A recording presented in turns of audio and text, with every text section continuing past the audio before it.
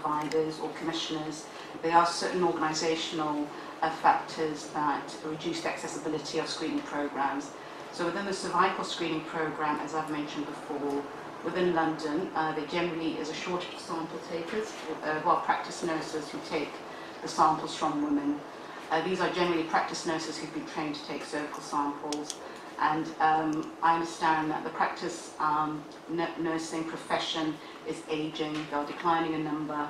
So it is quite difficult in some parts of London to actually get a cervical screening appointment at a time that suits you. Um, so there, there, there is the issue of um, accessibility, and I've talked about the patient contact details. Um, all of our mail, tend to use Royal Mail, and there is quite a significant percentage of get, that gets lost. Um, and I've talked about test acceptability. So some of these tests that we offer within the screening programs, our population don't find acceptable. So uh, NHS England has been working uh, quite hard since 2013 to improve uptake and coverage. Um, and I've listed here um, what we've done to improve the uptake of all cancer screening programs. So we have invested quite significant amounts uh, uh, of money uh, to our providers using a variety of contractual levers to improve participation. But also we are working in partnership with cancer alliances, with voluntary sector, with academics um, to uh, improve participation and also working with the Healthy London Partnership. We are involved in quite a lot of research, which uh, I have um, uh, listed here. And a lot of the research that we've funded, we've then, where it's found to be effective, we've then gone on to, to commission uh, some of those interventions. And I think the breast screening program is probably the best example of where NHS England has commissioned evidence-based interventions that have actually had a population impact. So uh, we've been implementing text reminders since 2015. Um, so every woman who is participating, who's invited to breast screening, gets a text reminder few, uh, what, 72 hours before she is due to attend. And this largely explains why London is the only region that's had uh, an increase in coverage uh, for, for the past two years, at least to March uh, 17. And it's been very effective in places like Merton and in other boroughs as well. Um, and uh, there, there, are other things in breast screening which I have listed there, but I won't necessarily go into detail. In terms of uh, bowel screening, um, for some years now, the London Bowel Screening Hub has been working with GPs to support local incentive schemes, to support practices, um, uh, contact non-responders, so people who don't actually return their kits. Uh, and this has had um, mixed success, I'd say, mixed success. Um, uh, across London. But, uh, but as I said before, in Merton, uh, we have seen a 1% increase uh, in coverage in 1674 miles. Um, so I think probably the most exciting change that is going to be introduced within the bowel screening programme is the change to the screening test itself. Um, it's going to change from the current test, which is called uh, fecal occult blood test, FOBT, to FIT, and uh, this fit test, um, when it was piloted in London, actually increased, was found to increase uptake by between 7 and 9 percent. Uh, this is due to be introduced uh, in London in December and it will be completely rolled out by March next year. So the increase we saw in uh, fit in bowel screening uptake when it introduced FIT, we saw increase in uh, groups that have a lower uptake so in men, uh, in, uh, in um, younger uh, age group and in deprived, and people from in deprived quintiles. So the introduction of FIT in quarter four is going to close the gap uh, or reduce the inequalities that we see in bowel screening uptake. It won't take us, London or Merton, to 60%, but it will uh, take us very close to 60%. So uh, in terms of cervical screening, we are doing quite a lot of work with a variety of partners uh, to uh, improve access. So the Royal Marsden Partners, the partnership which is the Cancer Alliance that covers Merton, um, has been piloting um, the uh, offering of cervical screening within primary care hubs, targeting uh, women who are overdue screening. And we within NHS England are commissioning sexual health clinics as well to offer cervical screening in 2018-19. Uh, we are introducing a big change to the cervical screening programme. So currently the test uh, is, is a cytological test where you take a sample from a woman and you look at it under a microscope.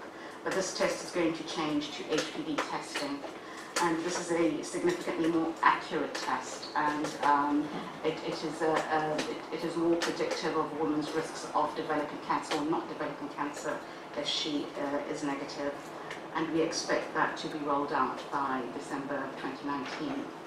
The uh, big difference that the committee should uh, note is that the introduction of HPV primary screening within the cervical screening program um, is going to result in us reducing the number of cytology laboratories in London from 10 to 1. So we're going to have a big procurement. It's, uh, it's been coordinated uh, nationally, but there will be one laboratory uh, which will cover the whole of London. Um, in September 2018, we, uh, so just the past month, we uh, introduced uh, GP endorsed text reminders uh, to all women invited for cervical screening. And uh, this is a highly effective intervention. The evidence shows that this will increase um, uptake uh, participation rates by um, 4%. So at a London-wide level, 25,000 more women will participate in screening, and at uh, Merton levels, possibly 1,000 more women will participate uh, uh, in screening every year. Uh, in terms of provider performance, the providers that I've mentioned are generally performing well. Um, there are a few issues at St Heliers related to their cytology lab, so this is the lab that processes the cervical screening samples. Um, there is a shortage of the workforce that processes the, uh, these samples, that examines these samples. But uh, this is uh, an issue that's well on the way to um, remediation, as I've described uh, uh, on the, uh, in the report. Um, St George's, the colposcopy service, um, is also undergoing some performance issues, largely relating to staffing pressures. But again, we've implemented a remedial action plan, so we'd anticipate um, them to be achieving the national targets around performance within the next um, two to three months. um, on the last page of the report, I've given some background to the breast screening um, uh, incident, which uh, you may be aware of. Um, the, I want the Commission to be assured that in London, our breast screening units responded extremely well, and uh, we have actually been able to offer appointments to all the women that were affected and uh, we are expecting a national report on the, uh, on, on the entire incident and the root causes of the incident uh, by December next year.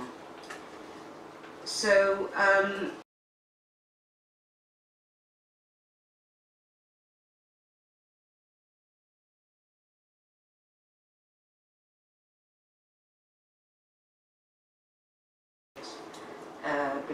targets, but there's a lot of work uh, being undertaken in partnership to address uh, to address this, and we are beginning to see the impact of the work that we've done since we did it. Thank, Thank you. you. Dagmar, do you want to add? Yeah. Um, so the, the micro doesn't work, but um, and I think um, and you understand me. So first of all, many things. Uh,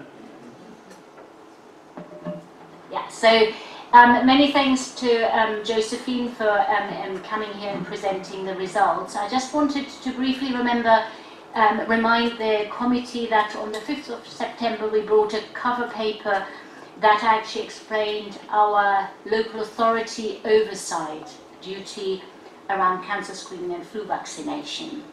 And um, it is important to understand how we work collaboratively with NHS England and Public Health England and what the role of the council is because you as members were very interested to find out what can we do to help um, um, um, improve these services. And um, um, so that's just a, a little reminder.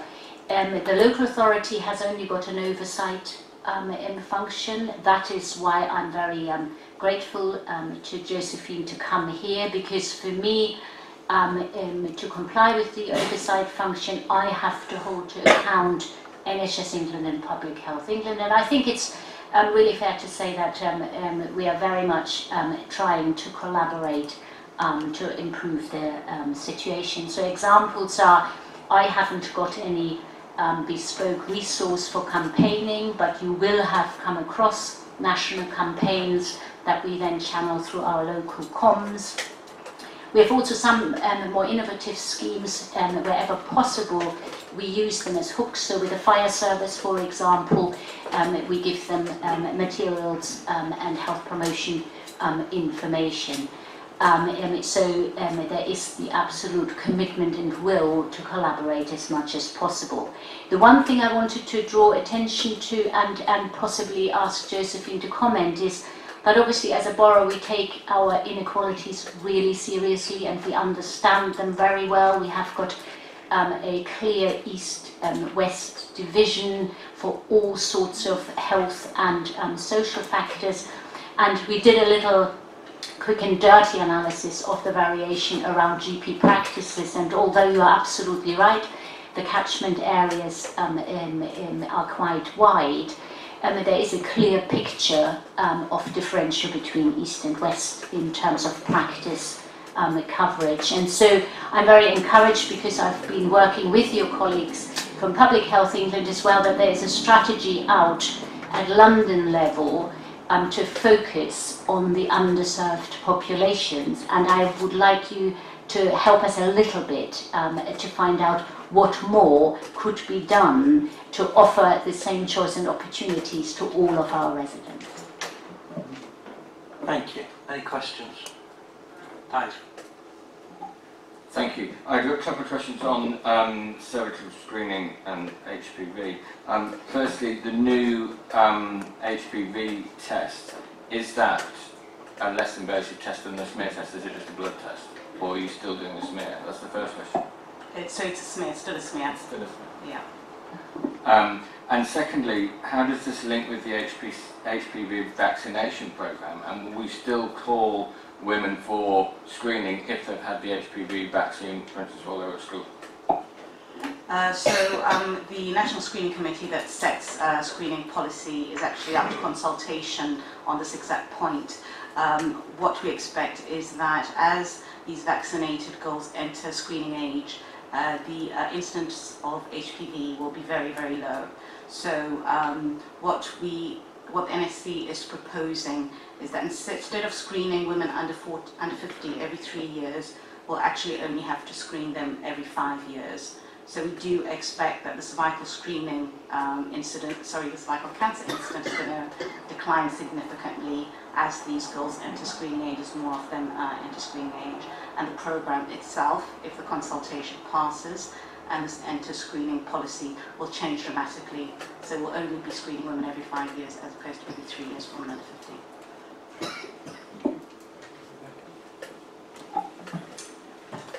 Thank you, and thank you for your report. I've got a question about um, general coverage and uptake over screening.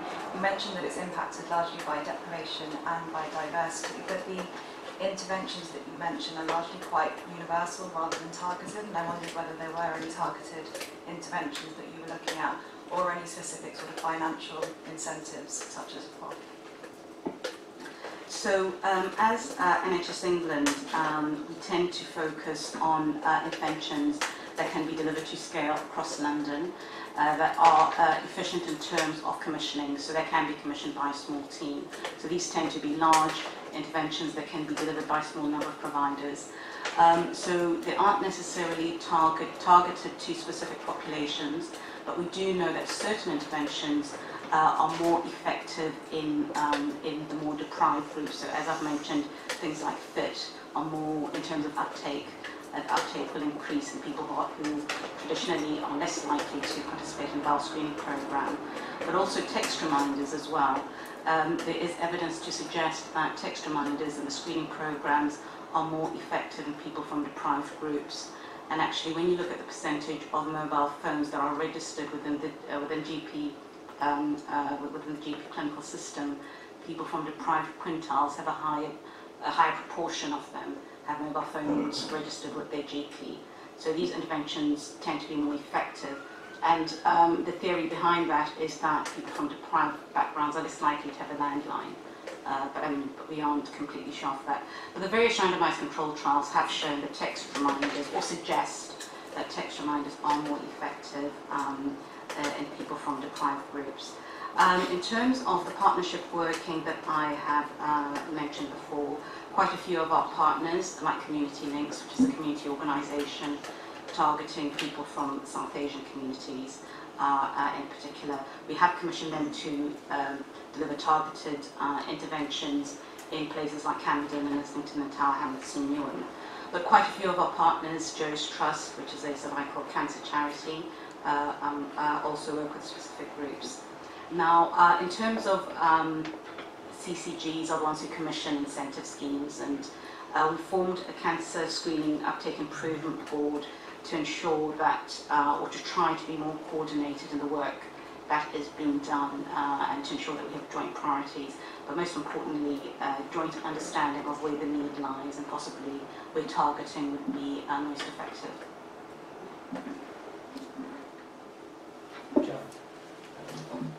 Thank you for your report. Um, if I may hear properly, you said there's only one lot for the testing. Of, um, I just want to find out um, how accurate will this report be, and how um, often will the results be implemented?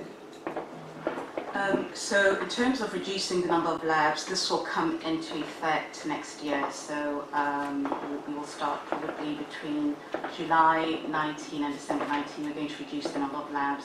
So currently in London, we, we have nine labs in London, and there are some samples that go to um, to, to a lab in Surrey. Uh, but in terms of the standards uh, that we expect the lab to meet in terms of turnaround times and processing times, these will remain the same and they've been specified by NHS England and by Public Health England. So there shouldn't be um, any delays from receiving their results letter. And HPV, because it is an automated test, unlike cytology, which means people to look at these samples under the microscope, we expect that the processing times will, um, labs will quite easily meet the processing times. And uh, as I say, the standards will remain, uh, you know, will remain the same in terms of turnaround times.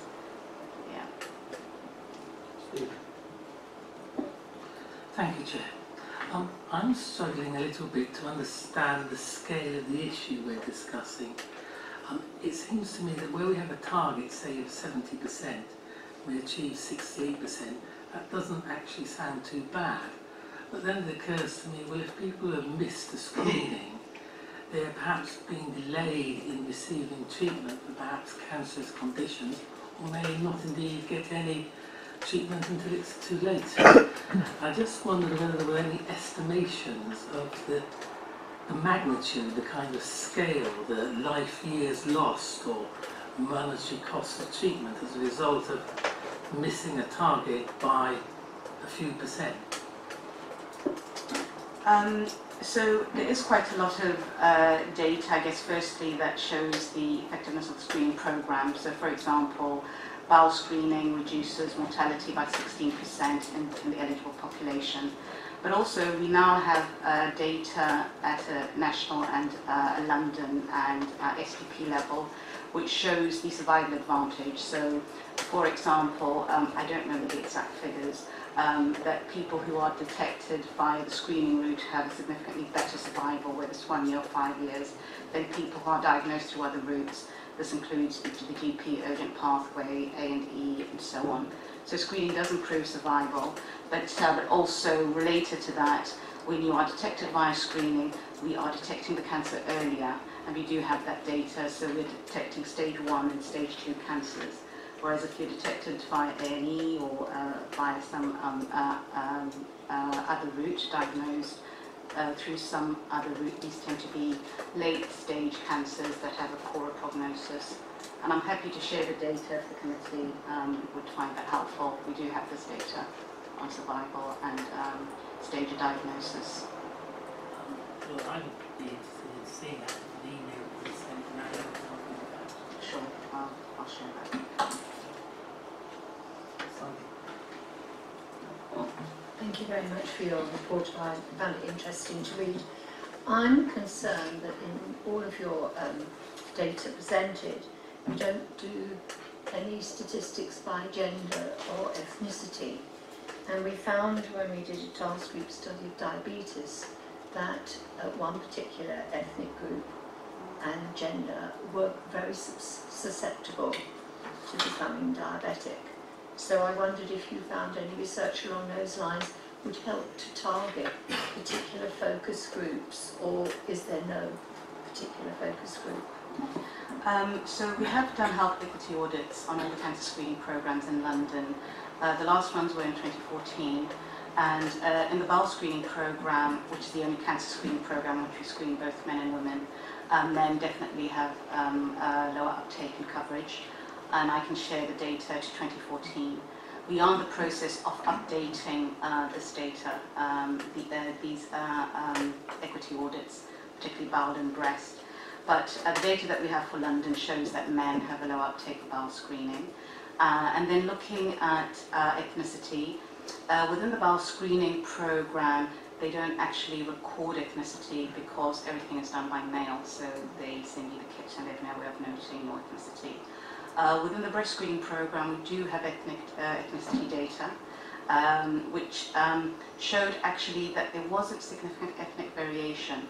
Uh, in general, um, there, there was a small difference between white British, obviously had the highest uptake, and uh, certain ethnic groups had uh, lower uptake coverage, but the differences weren't that significant. So we are about to rerun that uh, audit. We should have the results within the next three months. Uh, but ethnic variation isn't that significant in the breast screening program. Uh, within the cervical screening program, um, I think that, well, the data that we have on all of these programs is at a borough level. So, so what we have are correlations that say more diverse boroughs tend to have lower coverage. But at an individual level within the cervical screening program, it is quite difficult to do that analysis because we have to get the data from GP clinical systems. Uh, and, and that's not, it's not impossible, but it's not an easy analysis to do.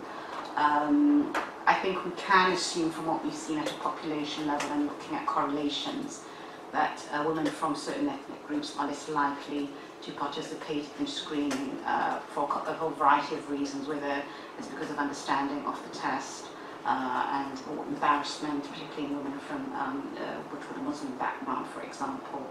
Uh, but we do know from other research that has been done across the country that there are groups that are less likely to participate in cervical screening. Uh, so, um, you know, transgender um, men who still have a cervix, uh, lesbian women, women who've had female genital mutilation or victims of sexual assault. So there is some data out there, but it's not necessarily London specific. Yeah. Okay, well, thank you very much that. I don't think there are any more questions. Oh? You mentioned that the colposcopy department in St George's um, is underperformed partly because of staffing issues. Um, are you able to expand on that a little bit just say, uh, expand a little bit more on what the mitigating uh, measures are that are being taken and whether they're uh, just specific to St George's or sort of symptomatic of anything else, any sort of wider trends in the, in the NHS? Um, so our colposcopy performance across London is generally very, very good. So St George's is uh, probably one of 20-something units. We may have two in London that are breaching. So the issues are specific to St George's. Um, I think it probably has to do with their own capacity planning uh, and uh, planning for staff absences or you know half terms and summer leave and school holidays and that kind of thing. Um, so um, we do have a formal um, process uh, within NHS England for managing poor performance uh, and we have formal escalation routes um, within the trust and also working with the CCG, ones with CCG. Uh, but within this remedial uh, action plan, uh, we're looking at things like recruitment to full capacity within a certain time frame. Thank you. So we are asked to comment on the programme. I think we have. So thank you for your presentation and for answering our questions. And, uh, we're very grateful. Right, item seven is personal independent payment process in Merton, an update on the improvement action plan. And we have Cam uh, from the DWP and his colleague. So my name is Richard Jones, I'm the Regional Manager for London and East of England from Independent Assessment Services. Actually used to be called Atos. Yeah. Uh, and we'd also like Lila to speak uh, about this. I think she's asked to speak. She um, uh, was one of those people who provided uh, the report that we considered when we first uh, reviewed this situation, and I think that was members of this panel found that extremely helpful. So, so who's sorry? Cam, you're going to introduce the paper Um, before us. Yeah. Uh, sorry, Chair. Yeah, no, definitely. Um, I think we, we sort of, albeit a bit late, we did circulate sort of the responses between DWP and um, Independent Assessment Services. So I'm hoping that everyone's had some sort of time to have a look at, look at that. We've tried to obviously answer uh, the inquiries that were made to full as full as we could. A number of those inquiries related to Independent Assessment Services. Um, apologies, um, albeit late. My, the, my colleague from Independent Assessment Services, Mary Dunning, actually wasn't well this morning, so my esteemed colleague Richard stepped in at lastminute.com. Okay, so Richard's had some time to sort of evaluate um, exactly what's been requested and, and the outputs there. Um, and clearly he's got a lot um, to actually participate within this uh, scrutiny panel because he's actually more involved with the Wandsworth Assessment Centre as well. Um, and I think what we'll do here is if, if, if we um, put it over to Myla to sort of raise her concerns or issues and then we'll go from there if that's okay, Chair. Okay. Well, there was one thing that when I was reading the papers um, on page 79, I couldn't understand what this attached review was supposed to show me. So, well, no, sorry, Chair, it was, Page 79. oh, I haven't, I haven't got the, all, all the paperwork. It's a list of postcodes. Oh, right.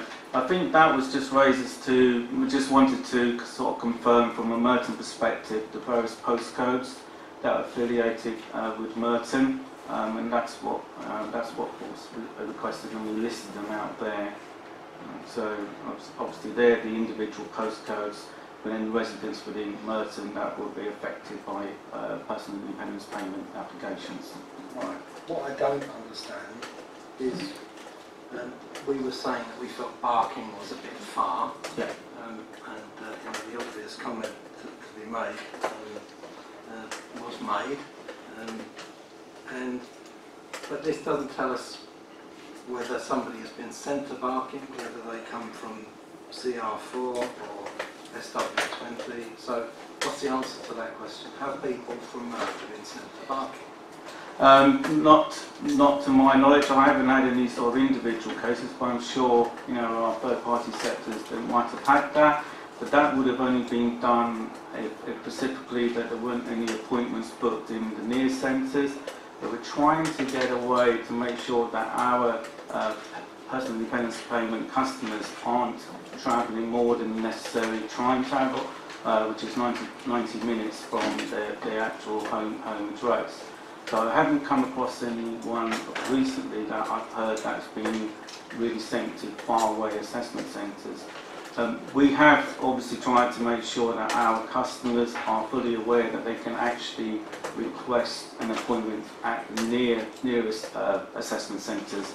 So they do need to obviously understand the appointment letter that they've actually received and make sure that the appointment is at the relevant assessment centre that they can actually travel to. If not, then we would kindly ask our customers to actually phone in and request one to be made at the nearest assessment centre. But I've not come across anything of late. So um, I think I'd like Lila to come in now. Can Ah, a right. point on that, Um, on that, you said the target is to not request anyone travel for longer than 90 minutes Yeah. to their appointment. Um, within London, using public transport or public transport, 90 minutes seems an inordinately long time. You can get to central London from here in 45. You could get to Barking in less than 90 minutes from public transport. I think that target needs to come down to an hour, if not lower.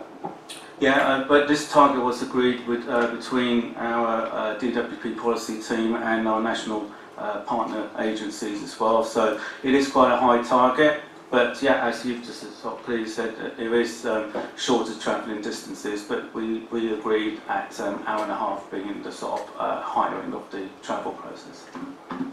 That- Can that be changed downwards?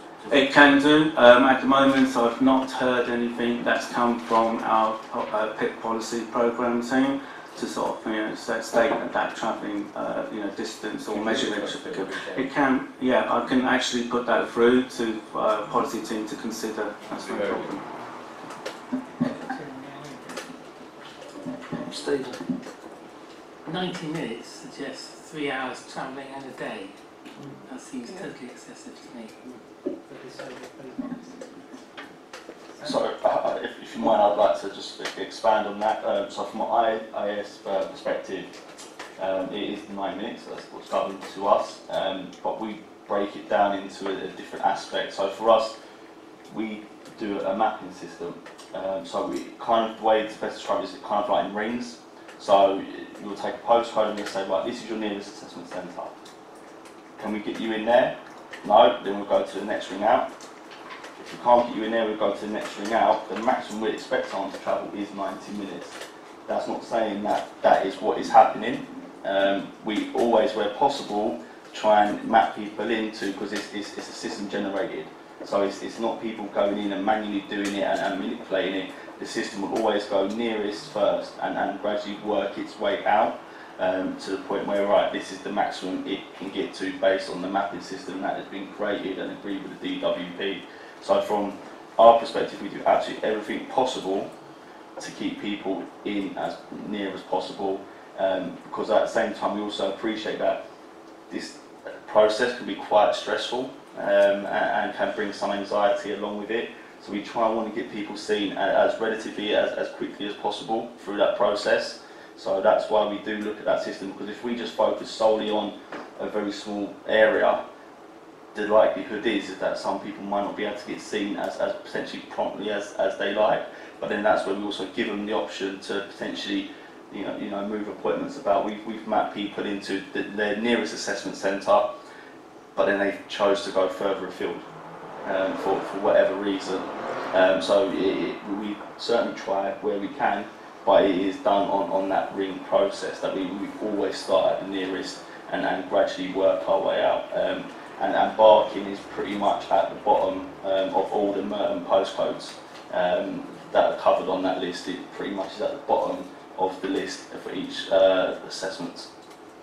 I suppose really what I'm sort of astonished about is that we've heard that somebody was sent from Merton to Barking. We thought that was absolutely Barking, and we, um, like, we're kind of asking, did that happen? And people are saying, well, not as far as I know, but I think we need to know was somebody sent from Merton to Barking. And if you think about the journey from, say, Wimbledon to Barking, you know, or from um, somewhere in Mitcham, bus to Tooting Broadway, Northern Line um, into where you link up with the District and Circle Line, and then a very long tube ride, and all the intersections that would be involved. And if you've got somebody who has a disability, that is excessive. You know, asking an able-bodied person, somebody who was fit and well, to do that would be, I think, for all of us, a bit of a bit of a hike. Uh, but somebody in those circumstances, it just seems crazy. And yet, now here we are months later, and nobody can say for certain did that happen or not. We've been told it did. Uh, that was reported to us, I think, from the report that we received. It seemed extraordinary. We made the comment, and still we haven't got confirmation whether it happened or not. So, Chair, um, if we could, uh, or if I could have the actual customer details, you know, maybe I can check that out for you. But I've got no specific, uh, specific example. Um, so I appreciate if I've got the details of that customer, then I can investigate, you know, the reason or did did that actually occur, why did it occur, and what was the outcome. Um, did it mean that the individual was then given a, a nearest centre as an appointment, or what I would also uh, envisage is that the difficulty in that individual getting that assessment centre and home visit to be considered as well, home consultation. Yeah. And on that point, Maria mentioned, I think to Lila, that, um, that there was a proposal to do ass- assessment in buildings that were familiar to your customers. I think that's what you call them, isn't it? Um, so um, you know, the, the, the stress and anxiety of somebody, say for example, with a brain injury, finding somewhere that has sort of um, difficulties with spatial awareness and all of that, and the anxiety of finding a building that they're not familiar with compared to going somewhere that they attend on a regular basis is significant. And you know, that would be a, a good step forward. Is there is there any progress with that? From an IAS perspective, on, on getting additional buildings. Yeah, to, to do them in sort of um, So we, we uh, in in uh, the northern area, um, so going towards sort of Manchester um, area, we, we had a partnership with the NHS. Um, it didn't work because we were very limited on what we, we could do. Um, in, in terms of we was given very strict times when we can have access to the building. Um, we weren't given complete control in terms of managing the facility. Um, for us, all of our assessment centres um, we make sure they, they adhere to a very high standard. We try our hardest to maintain those. Uh, we've got a contractor in to, to maintain them. As it stands, there is no uh, plan to expand into other areas in, in terms of potentially using some hospital spaces um, or, or something. I think that they're at a premium as it is, the spaces there. No, I think what Maria was saying to Lila in response to a specific question was, would it be possible, or, or it would be possible, to do them in voluntary sector buildings? So, for example, um, you know, would it be possible to do them in the premises of, um, you know, I don't know if you'd have the facility work, but yeah, but like there are voluntary sector buildings where people are familiar with and they can, you know, they can find because they know it and they use it on a regular basis. Couldn't it be done there? That's that was the, and it was Maria who suggested that was possible. So I think it would be possible. I'm not arguing that. but Um, it's not happening. it's not happening at the moment because there's there'd be numerous challenges that, that, that come with it. Um, the main one that springs to my mind would be the IT system side of it. We, have to use a very secure, locked down system, so that'd be something we'd have to have an agreement with the DWP on because all premises that we use, we have to get sign off from the DWP prior to using them.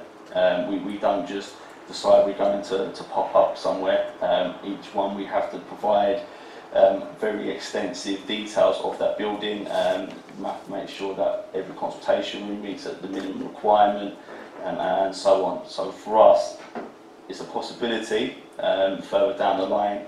Um, the likelihood of it happening in the near future, I'd say slim, um, given that we're currently in negotiation on, on the contract and if it does go through, it will only be till 2021 um, with, with us. So I, I, I'd imagine that that it would just wouldn't be feasible in that time to, to make the, the required changes, get the building signed off to, to the spec required, um, and then everything put in place um, within that time period. So where were you misled?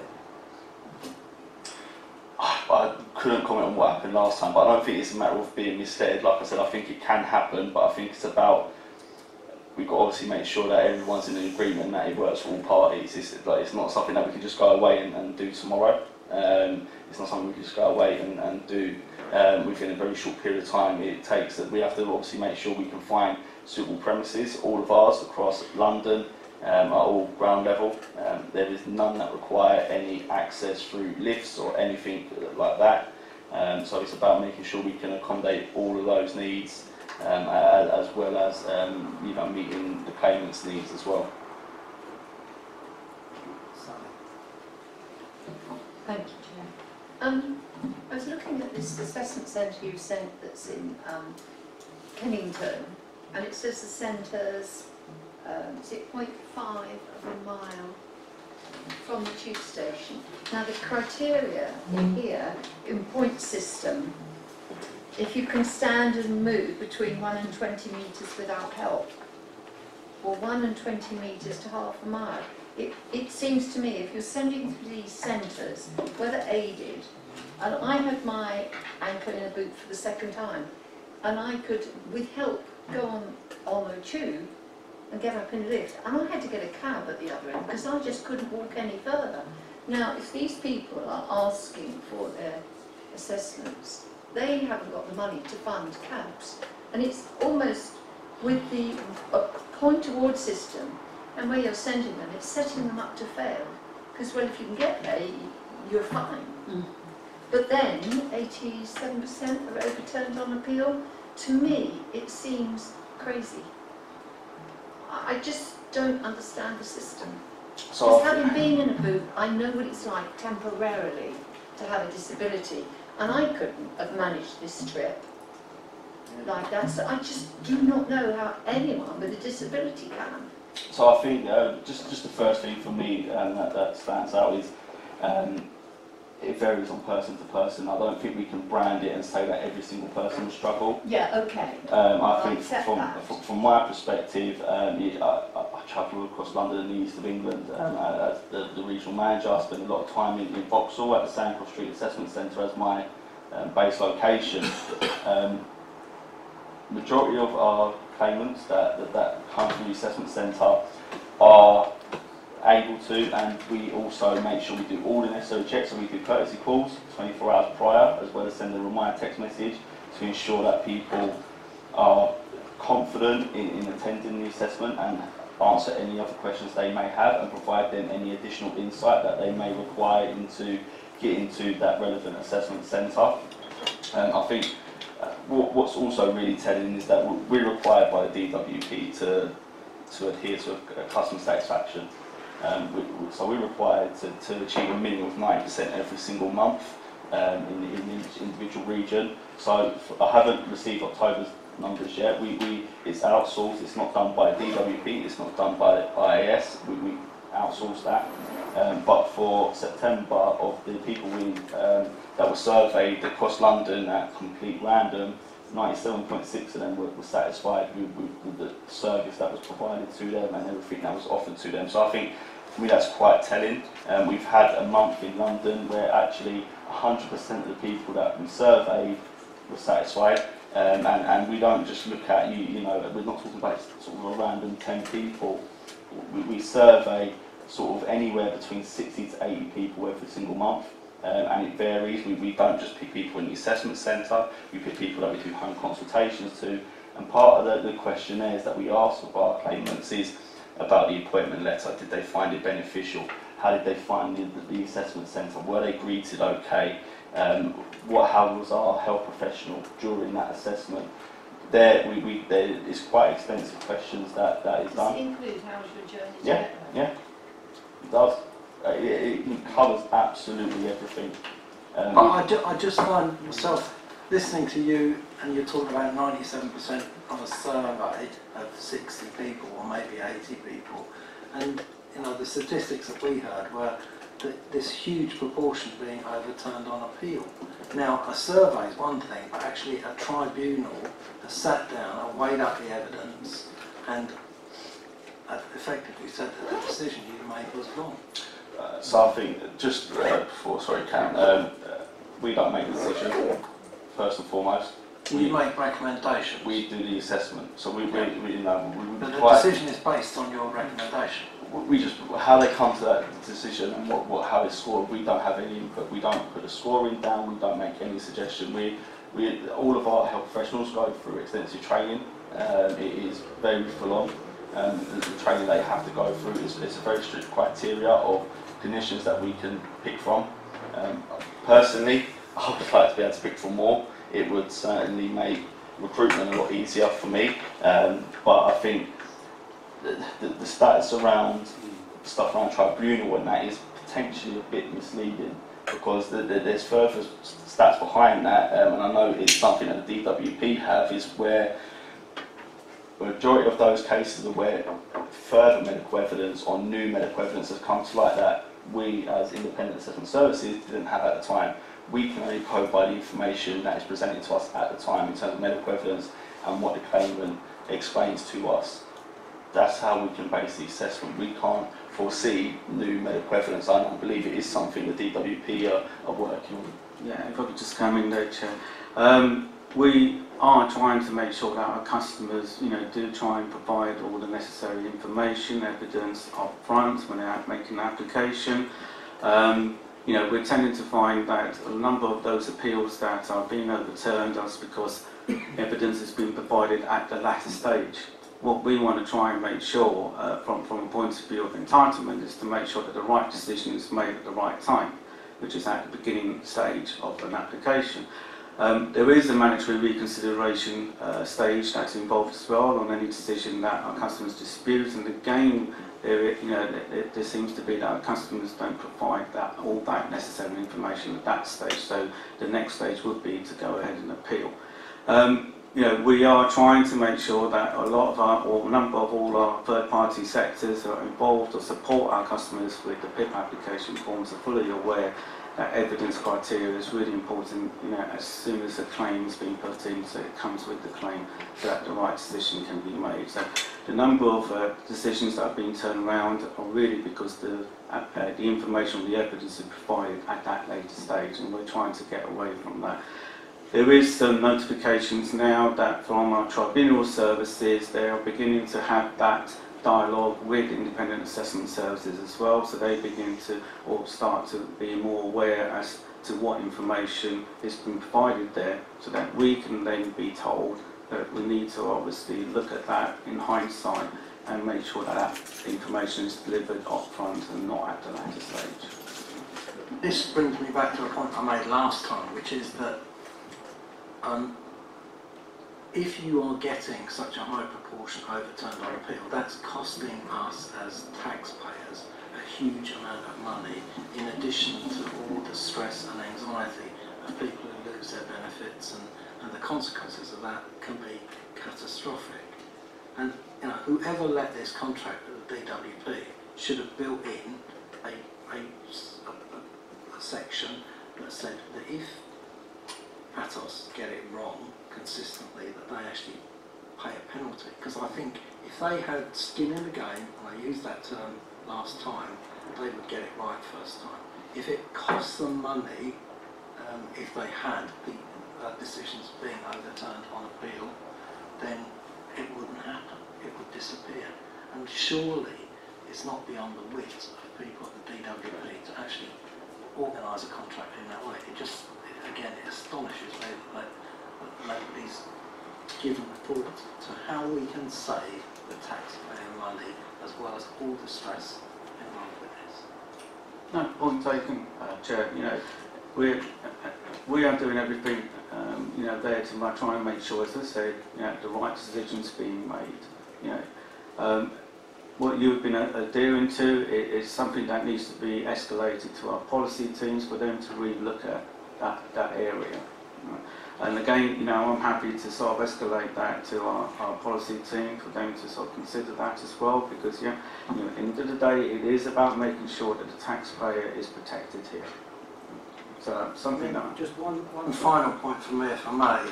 And you mentioned that all your rooms are uh, accessible um, and they're on the ground floor. In the centre in, in Vauxhall, according to this note, it says we consultations rooms are on the ground first and second floor.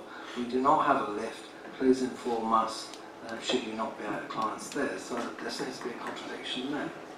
So in the Vauxhall we have what we call a a back office uh, function, um, but all of our assessments take place on the ground floor. Um, so the back office function is where we do our audits of reports, where we do our paper-based reports, um, and So this description is inaccurate, is it? So the reason why it's in there because it has caused some confusion in the past where we've had Oh, it's Croydon, this one. Sorry. uh, Croydon is um, part of our supply chain um, partner, so that, that is something I can take away with them because that's um, something I can pick up with them separately. Um, but all of our sites um, for, for London um, that have come under directly under IRS, IAS, sorry, don't have anything on above the ground floor. Everything is ground floor. Well, Croydon does. Croydon is a PFAS site, um, so it, it's a company that's contracted into us. Um, they've Who moved. managed the contract? Sorry, Who let the contract to them? who let it? Uh, so we find an area that we can't necessarily always provide resource to. Um, so they offered to provide assessment. So they still have to adhere to the training and, and all the clinical requirements, um, and then they're governed by us. So you let them have rooms but they're not accessible. I, I don't know the, the Croydon site if I'm being perfectly honest, uh, but I'm more than happy to take that away and I can speak with our supply chain manager um, to, to look into that and, and get that updated accordingly. Okay. Lionel, sorry, no.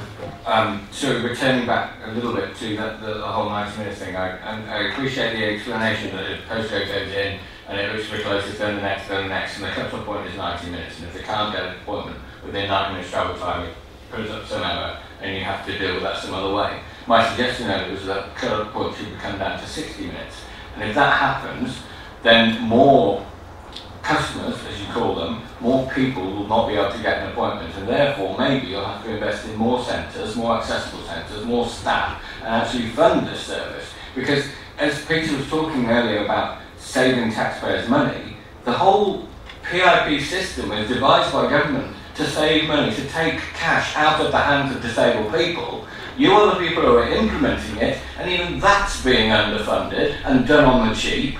Because for the amount you bid for this contract to deliver the assessment services, you can't do it without sending people 90 minutes across London.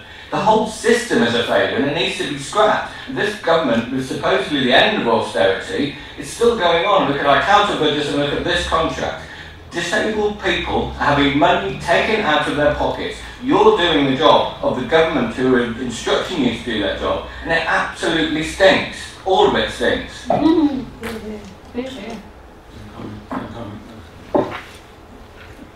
Lionel.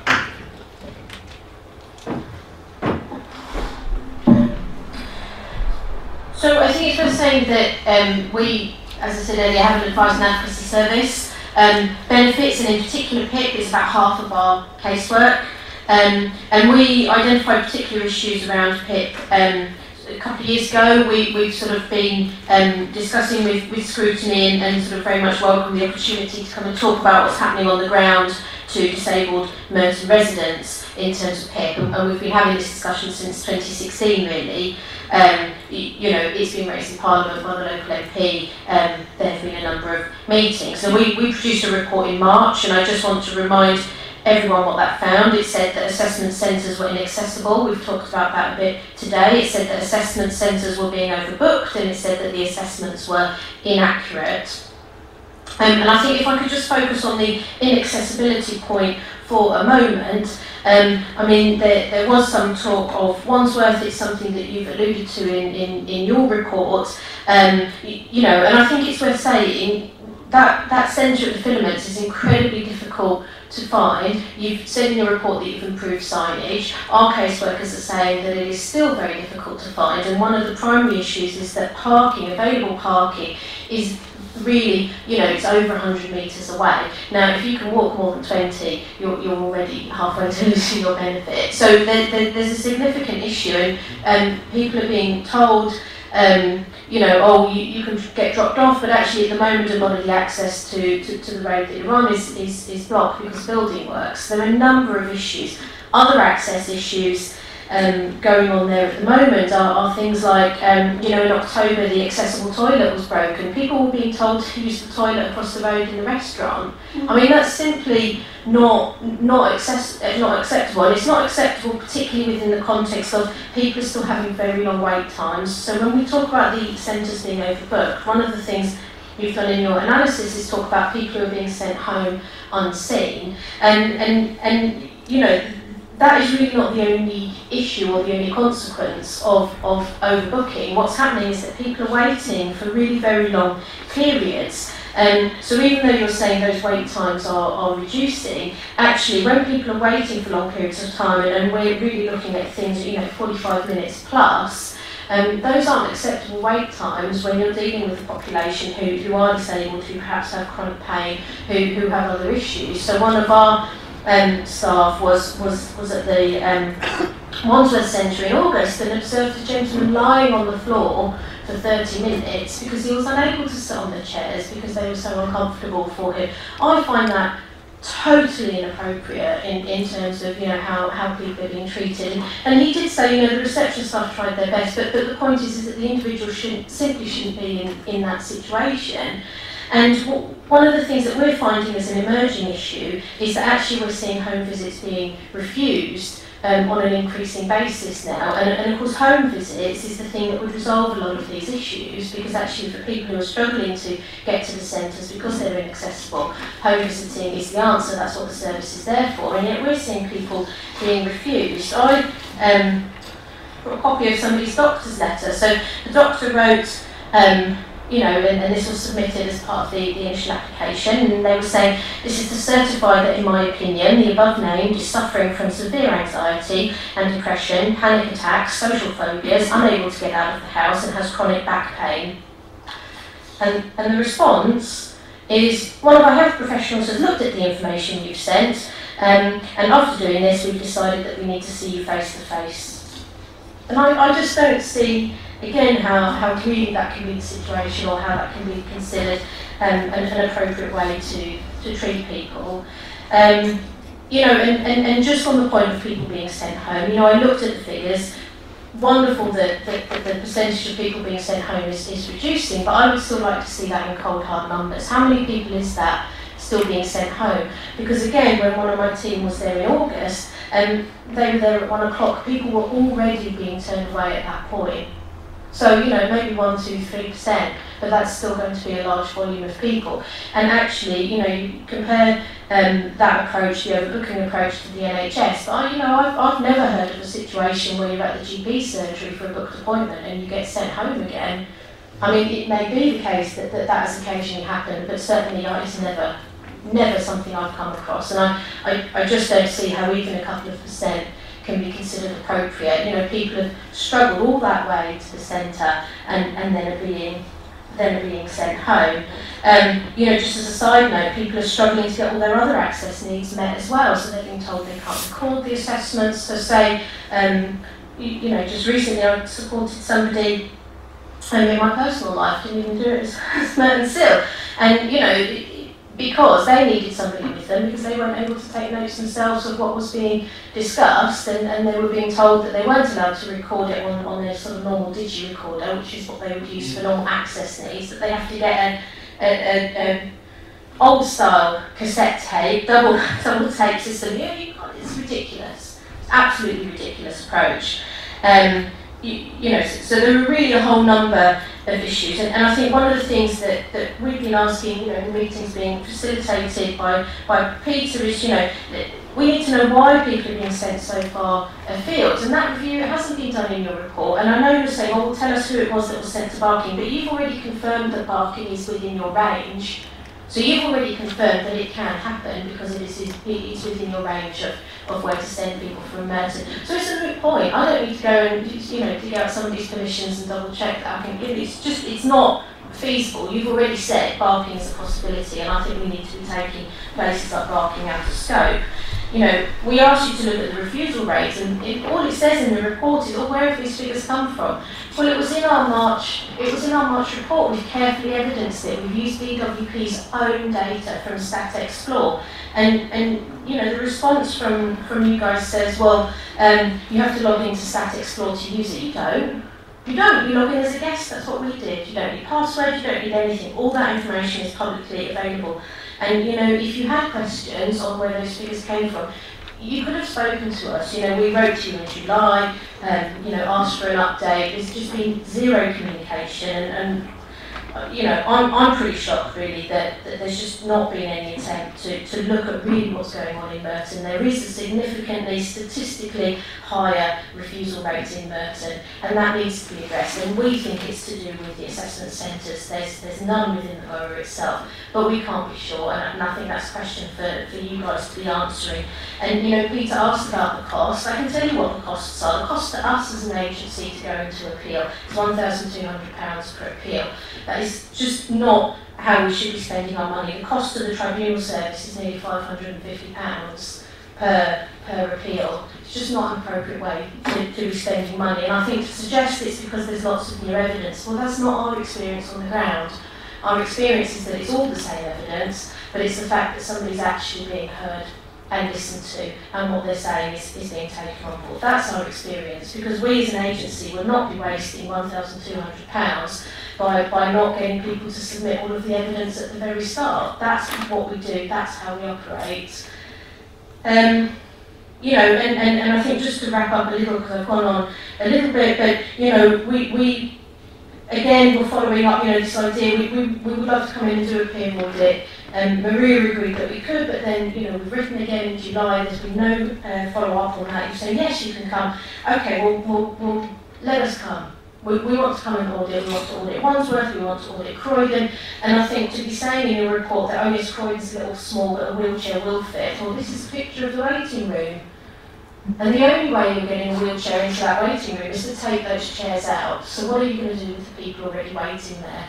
And, and the idea that you would potentially get people already sitting there to move and go and stand somewhere else so that you can fit a wheelchair in is so humiliating to the individual. Again, it's, it, it's just, I think, that level of understanding of, of, of the population that you're dealing with and, and how to deal and approach people sensitively. And, and it just, you know, it just doesn't feel like it's, it's there. And it's, it, it is really quite disappointing, you know, and there was a comment in there somewhere, oh, you need to tell us about individual issues. What, what I said in May was, do you know what we don't? We've given you case studies, we've given you data, we've told you where we think the issues lie, we, we've told you what the emerging trends are, and you need to respect us as a voluntary sector partner to be saying these are what the problems are. You know, you're, you're, I can see you shaking your head, but you know, you're, you're sort of saying, oh, tell me about the individual people. But that's so that you can look at each individual case and go, oh no, but there's a reason for that one, there's a reason for that one, this is why that one happened. But we're asking you to look at the overall trend because that is incredibly clear. Thank you.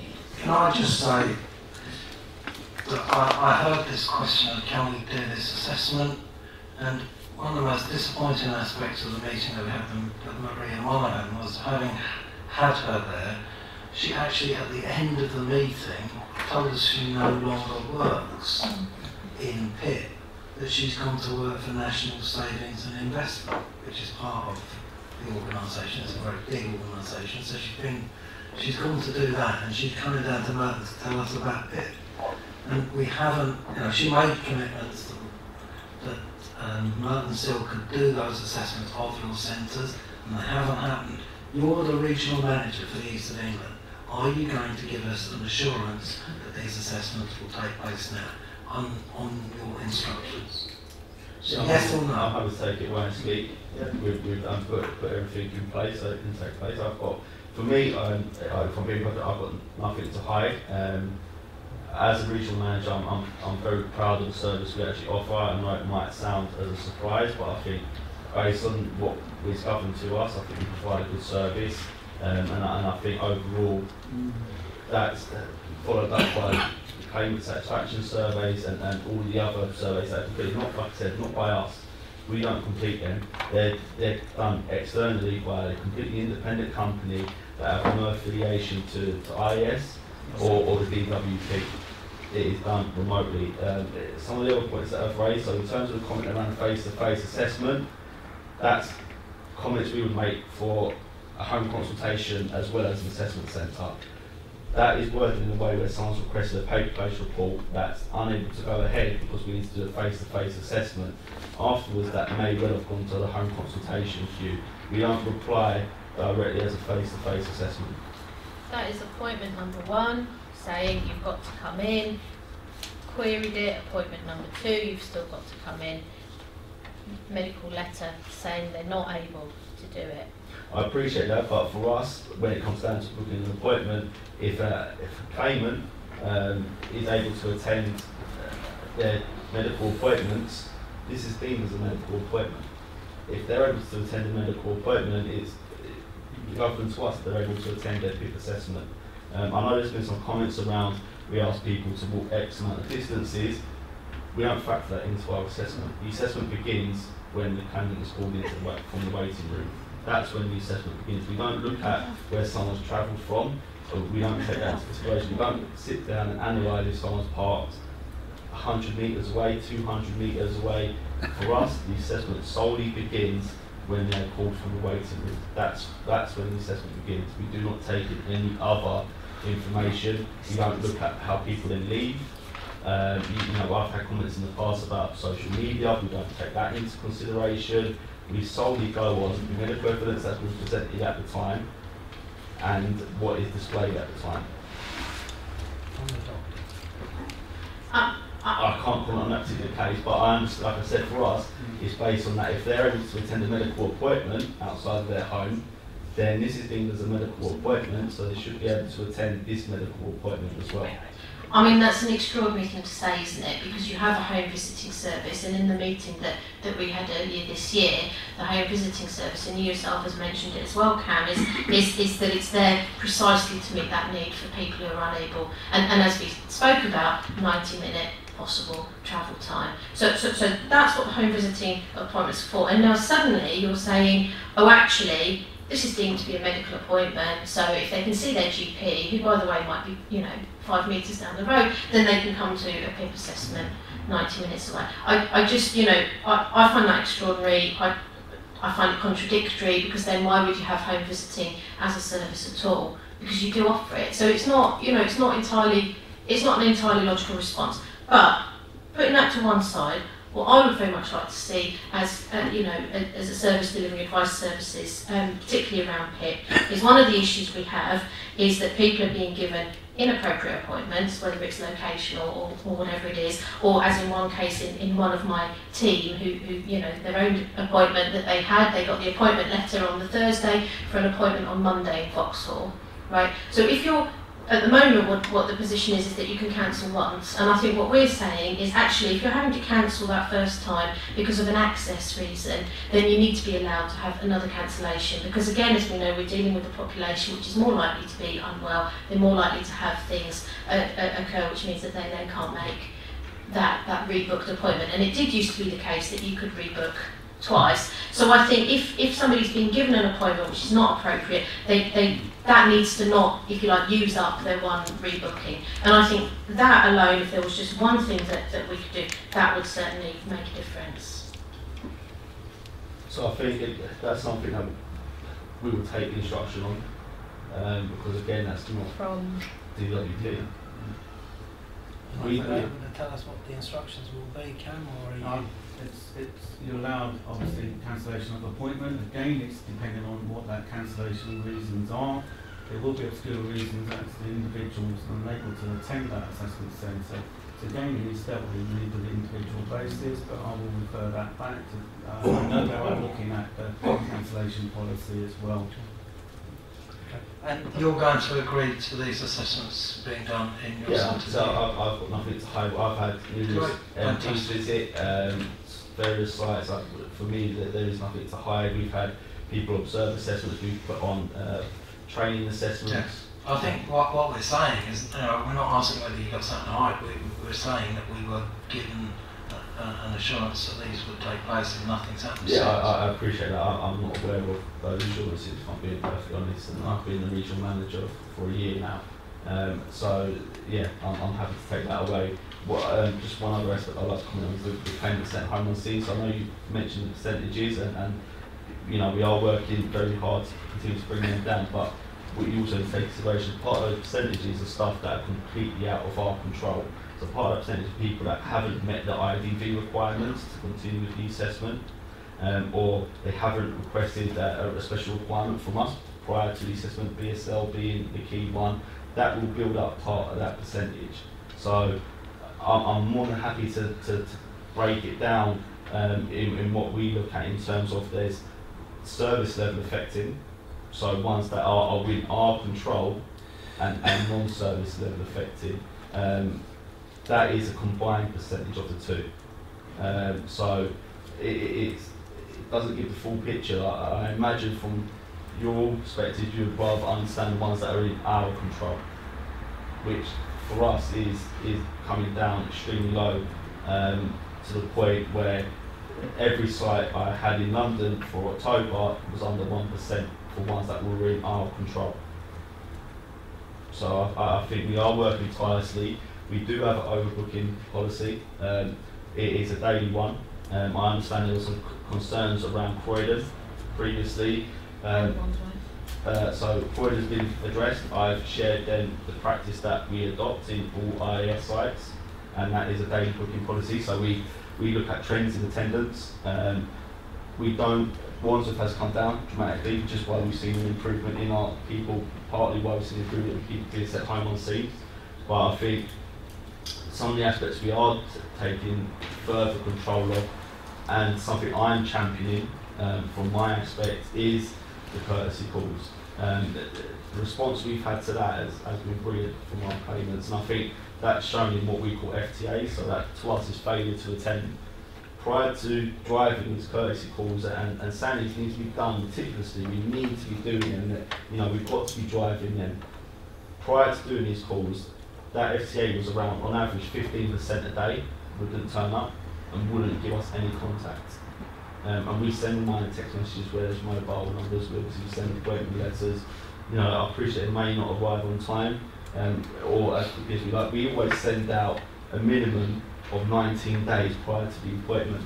What happens within Royal Mail after that, I can't fully comment. We are continuously doing dip checks internally and making sure that everything's going out and our system is producing the letters and they are going out straight away.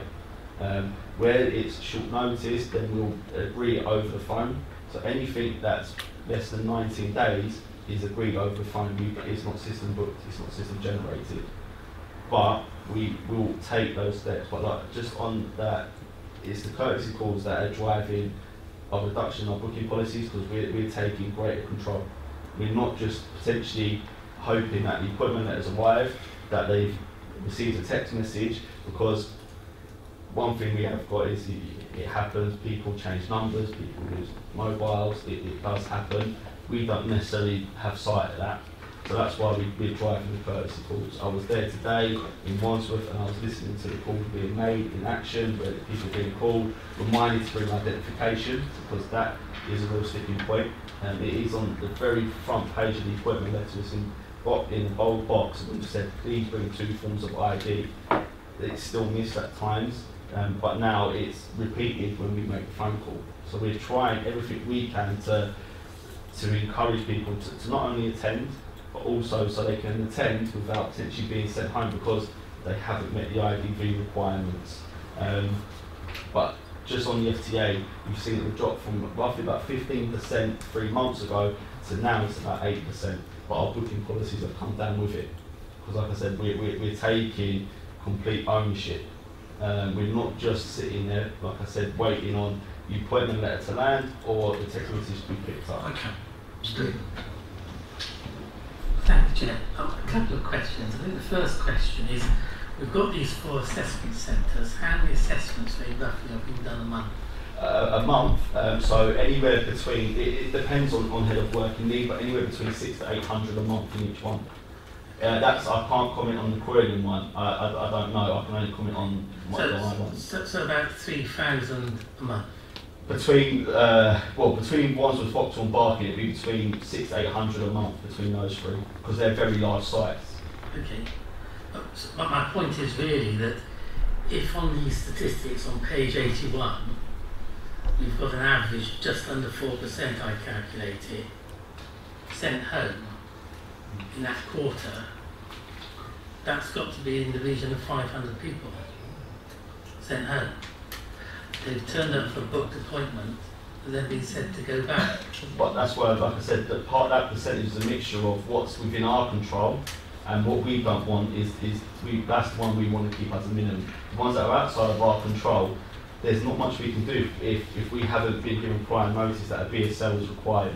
Um, because it has been times where, you know, no medical, uh, British Sign Language. So obviously if, if nothing has been requested, then and they arrive at the assessment, it's kind of out of our control. Again, if, if people fail the IDV checks, that all feeds into the payment sent home on scene. Um, it is a combined of what's in our control and what's outside of control. This is more of a a question. I, I just think they're approaching this whole thing totally wrong. It seems to me that these are vulnerable people, many with disabilities. They are desperate to receive their personal independent payments. And yet we're talking about things that they've done wrong. And we're not informed that they need BSL. Well, surely these people aren't coming for the first time. they're on the system, the system that you talked about having very secure measures to protect personal data. They're not coming cold off the street. I just find this whole approach very upsetting. Now, in terms of what was said about Merton CIL visiting some of these centres, I think it's absolutely essential they should be allowed to visit. And I would like to suggest that maybe we have um, a, a council officer accompany Merton CIL representatives on these visits so we can uh, get a report back from our officers. I don't know if we can make that as a recommendation, Chair.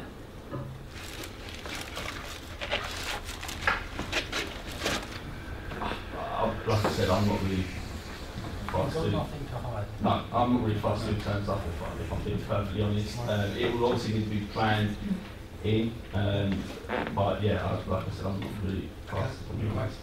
Just to sort of uh, continue with that point that gentleman's just made, um, yeah, when, especially when I'm going out there doing sort of awareness sessions, I was sessions around PIP and the application form, I do stress to our third party delegates that it's really important to try and build a picture of what their needs are at the assessment centre. So if it means particularly that somebody has any sort of issues around um, sensory impairment, be it cell issues, you know, anything like that, that it's made aware on their application form. And also when they actually get their appointment letter, um, if they're able to, or when a member of family, next to kin, can actually call just to sort of make sure what the needs are for the individual. My, my point is if they need a BSL interpreter when they've been before, they'll need the one. But Yeah. I, I think you'll find that the majority of the cases we deal with are new referrals, so they, they will be new to us. That is the, the, the majority of the assessments we do, because PIP is still early in, in, in- in terms of a benefit. Haven't they been on other benefits? But the systems, the systems, as far as I'm aware, don't read like that. No. The PIP, the PIP uh, system is, is totally different to the old DLA system. Again, with the PIP application form, they can use any medical evidence that's obtained with their DLA uh, claim previously. So we do need to make sure that our customers are aware that they consent to uh, any evidence on the DLA claim to be used as part of the PIP application as well. So any subsequent information on the DLA claim it is looked at. So again, uh, you know, our our customers need to be educated with that to make sure that they've consented to that as well. So, what we were agreeing is that... Sorry, I've got one more question. Okay, it's quite quick. Um, uh, there, there are many, many things I could pick up on. But I've got a, a particular question for the guy from IAS about home visits. Um, do you, uh, I'm assuming that a home visit obviously has a staff time and travel time, and that the travel itself costs more. So do you have a limit on the amount of home visits you're allowed to offer, or a target of how many home visits you can offer? Or more, more specifically, do you, um, is, do you have a, can you just give a home visit to everyone who you decide might need one? Or do you, do you have a limit of the number you can offer in any month or week or any period? Short answer, there is no limit. There isn't. The- oh, For everyone who needs one at home visit, The limit, them. the limit Can't afford it. that- that's what, the limit we've got, so we don't get involved in terms of its costs and we can't judge that and, and govern that, we, we, we, can't predict. You know, this is a, a benefit that people that are in work can also be claiming. For us, we, you know, that we, we follow the guidelines that are set out. You know, this is what's required for a home assessment. We'll adhere to that. If that needs to change, that's something we're more than happy to work with the DWP on and look into. There isn't a set limit. The limit is at basically how many we've got to do that month. There isn't saying, well, we can only do this amount because of cost. That doesn't come into it. Okay, so what proportion are given home visits at the moment? So in terms of our face-to-face assessment, so home-based reports is, is roughly about 15%. Um, you're then looking at a further, it, it, it, fluctuates, but you're probably looking at a further 60% will be in the assessment centre, um, and then the remaining percent um, will be at home consultation. But it, it, fluctuates month on month, So it's 25% roughly. Yeah, it can go up and down. There, you know, there's some, because it's new referrals and cases are coming through, we can have some months where we see a spike, and if we see a spike, we plan on a monthly basis. So we, when we create our, our, our, our targets, it's based on, right, this is how many people we need to see in the home consultation based on the medical evidence and what's been scrutinised at the very beginning.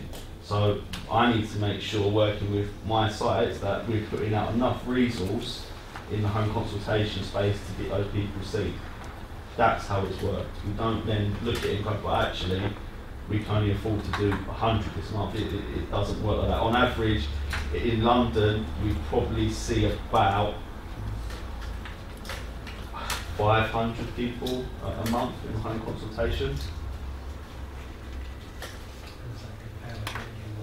Do the maths over Well, I, I still think we're sending about 500 people home a month, them having had appointments, you know, timed appointments even, which I think is just, you know, not right.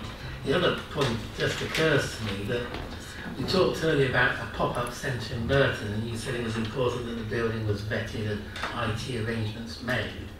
But if we are doing 500 home visits a month, isn't a pop-up centre really just a succession of home visits? If we approach it with that mindset, we could simply say to people, we're originally popping into this building and conducting assessments, just like we pop into your home and conduct assessments. It, it would be if everyone lived that close together. The problem is when uh, we do, do London, it's a, a vast area, and our, you know my HPs will see no more than three in the home consultation space, but we'd expect them to travel up to two hours in total. No, so we'll ask our staff to travel two hours. Um, our staff, we'll say to them, you need to travel up to two hours in, the day to, to complete those three assessments. That should give you enough time to make an adequate assessment and, and submit uh, uh, uh, an adequate high level report. Um, we are graded on them at, at, at an independent level um, and, and there are very steep service credits associated with them. So from our perspective, it is paramount that we get the quality right um, as because the, service credits that are associated. So I appreciate the comments around tribunal, but again, at, at, when the reports are audited at that stage, based on the medical evidence that was there and, and that report, it, it deems as that is a, a good quality report. That can change. I'm not saying that is 100% accurate, not at all, but I've, that, that I am aware, and I think the DWP are working on getting some comms out about the, the, the tribunal side of things, because I think there is a, a, a, a misunderstanding about appeals and, and what's happened based on what's been presented afterwards that wasn't available at the time. Um, and, and we are, we as the IAS are actually going out there with disability rights groups and, and you know, I'm sending my managers out to them to, to speak to them to really encourage giving us this information as soon as possible. Um, we've had people openly tell us they're not going to provide this information, they're going to hold it until trouble, until appeal. Um, we, we've had people openly tell us that because they Lose feel their like they, benefits for months. yeah, um, and they starve and they go to the food bank, Lose their car. lose their home. Yeah, we, we've had people openly say to us that they're, they're not going to do that. Um, and they're not going to fight. But I'm not saying that's everybody I say, but it does happen. I don't want to get down into the very, you know, the, the small percentage. Like the overall majority of our claimants are, are very compliant and, and, and, and work with us. We do have instances of can be quite scary circumstances. Um, you know, we've seen recently a spike in incidents in, in our assessment centres, um, and, and, and we're working on that. Is that born out of frustration? Um, I, I think some of it, if I can if I be honest, is, is a misunderstanding of, of PIP and DLA. Um, but overall, it doesn't condone some of the, the, the acts that have gone on in our assessment centres. You know, we, we want to treat people with respect, and we expect our, our staff to be treated that way. But some of the stuff that has happened of late hasn't gone quite like that, which is you, you know disappointing. But you know I'll work with my, my staff to make sure that, that they can kind of dust themselves down and, and, and go again. I f- But like I said, the overall majority of our claimants are compliant and willing to to, to work with us and, and, and, and make this process as smooth as possible. We want to make it as smooth as possible. When we get a claim from the DWP, we've got 40 days to get that back to them. I'm going to draw this to a conclusion. con- conclusion. Stephen? Thank you, Chair. It strikes me there's almost a kind of small data, big data problem here, because we've asked for some big data analysis and it hasn't been forthcoming, but I think we should still know how many um, customers or claimants from Merton are going to each of these assessment centres. And I think we should know how many of the Merton customers are sent back having asked for a timed appointment and been given one. Because the thing is that there is no assessment centre in Merton. No. So that's not satisfactory and I think we need to get some data analysis so we can see what's going on. The other bit of data analysis I would very much like to see is the norm normalisation curve for appeals. It seems to me with the volume of assessments, 3,000 a month, and the successful number of appeals, 87%, we will see that on average an assessor has X number of appeals found against that assessor. And I would like to know what the outliers are. Have we got assessors who, for one reason or another, are often have appeals successful against them? And if they do, what action is being done to retrain those assessors so that their appeal rate comes down to the average? We asked that at the, the last meeting that we had. Is, are those statistics available? So for us, this is something we've gone back to the DWP and we're working because we don't get any. Once that report's left us, we don't know anything after that. We couldn't. I couldn't tell you if it's gone to appeal and, and what the outcome was and why. I don't. We don't have sight of that. Why? I, I don't know. That's not in their contract, their contract is purely for the assessment. Don't you stage. want them to do a better job? So Yeah. if, if, if you've got somebody who's consistently getting it right, don't you need him to be training his colleagues to They- they have- consistently get it right? And if somebody's consistently getting it wrong, doesn't somebody need to IAS have, um, they do check percentages of their assessments to make sure that a full assessment, accurate assessment has been done. That, that's their part of the, uh, agreement. The decision is totally done by the decision maker in relation to all the information that's been provided.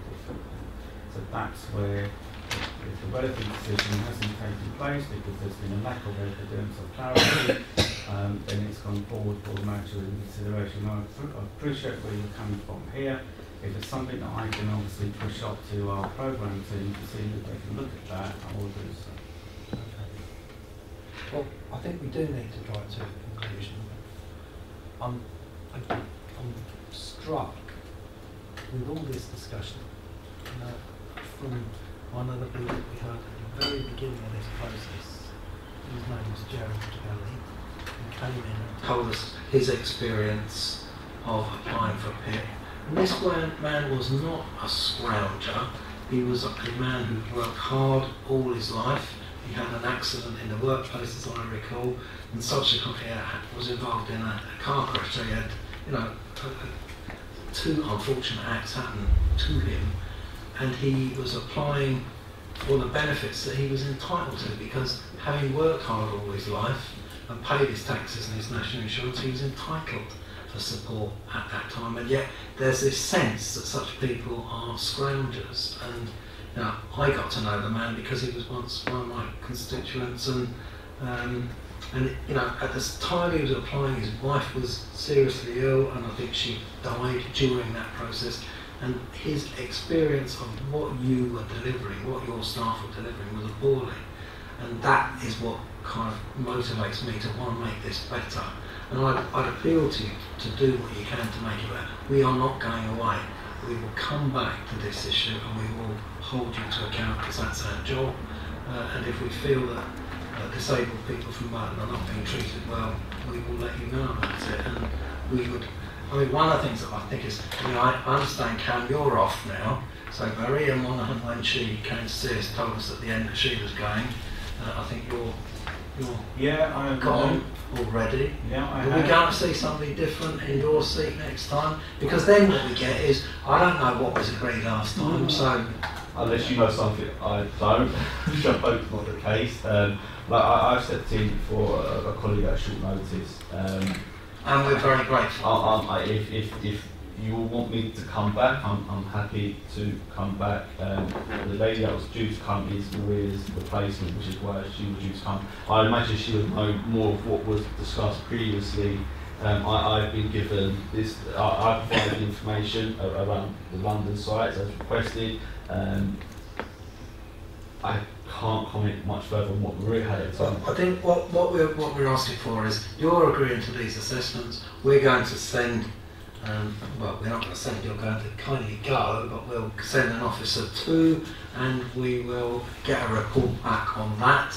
Uh, and we will continue to ask questions on behalf of the people that we represent. Okay. Yeah, yeah, no, I appreciate that.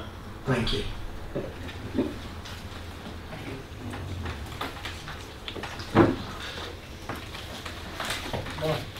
Cabinet member priorities. Councillor Tobin Byers.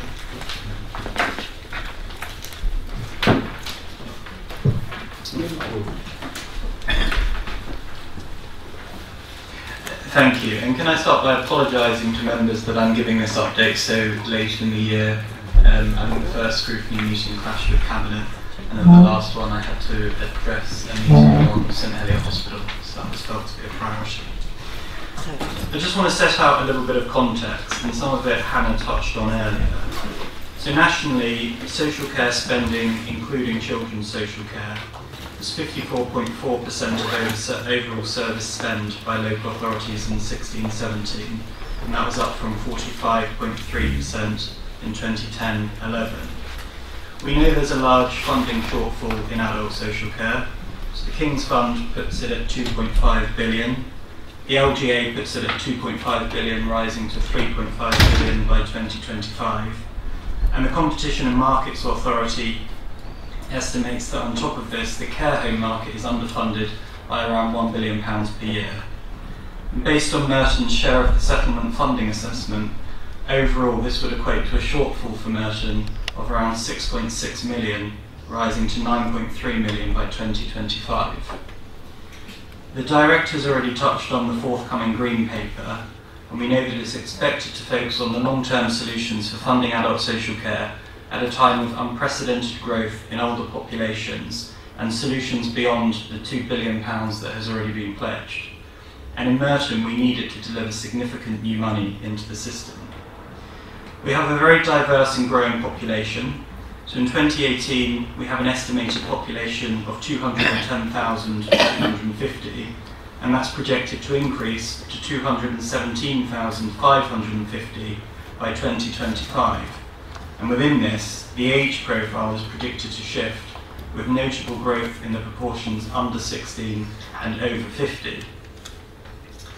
As Hannah said earlier, 43% of the overall council budget is allocated to community and housing, and within this, 92% is spent on adult social care, which is the largest area of controllable spend the council has. Adult social care, as colleagues will know, had £9.3 million of growth invested into it in 2017-18. The Council provides care for nearly 2,000 people every month, including older people, people with physical disabilities, people with learning disabilities, people suffering from poor mental health, and people suffering from substance misuse. Every week, on top of all the day-to-day -day work, the department deals with casework submitted by councillors, legal challenge, ombudsman referrals, deaths in the borough, and safeguarding concerns, to name just a few, all of which I am briefed on. When you throw in the other areas of the portfolio, such as public health, chairing the Health and Wellbeing Board and the relationships with the Health Service, the challenges caused by the lack of a long-term sustainable solution for social care funding, and the ever-changing health landscape, it can be difficult to focus on priorities without getting tied down in operational matters. And in preparing for this evening, it struck me that given the diversity of the portfolio, there are any number of individual aspects which I would regard as a priority. Examples would include the implementation of the Air Quality Action Plan, continuation of our journey towards becoming fully dementia friendly, following the award we were given by the Alzheimer's Society a few months ago, fighting for the best health facilities for residents, including the redevelopment of the Wilson Hospital and the retention of St Helier Hospital, getting people out of hospital more quickly and enabling them to stay at home for longer, and ensuring decisions around social care follow the strict guidance of the CARE Act.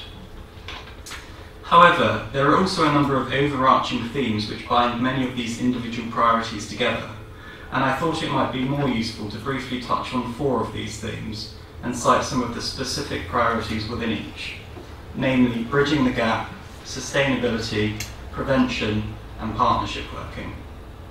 So firstly, bridging the gap. This has been a strategic priority for the Council for a number of years, but is perhaps more relevant to my portfolio than some of the others. The Director of Public Health undertook an important piece of work earlier this year in her annual Public Health Report, which sought to set out the complex picture of deprivation across the borough, and particularly the inequalities that exist between the East and the West.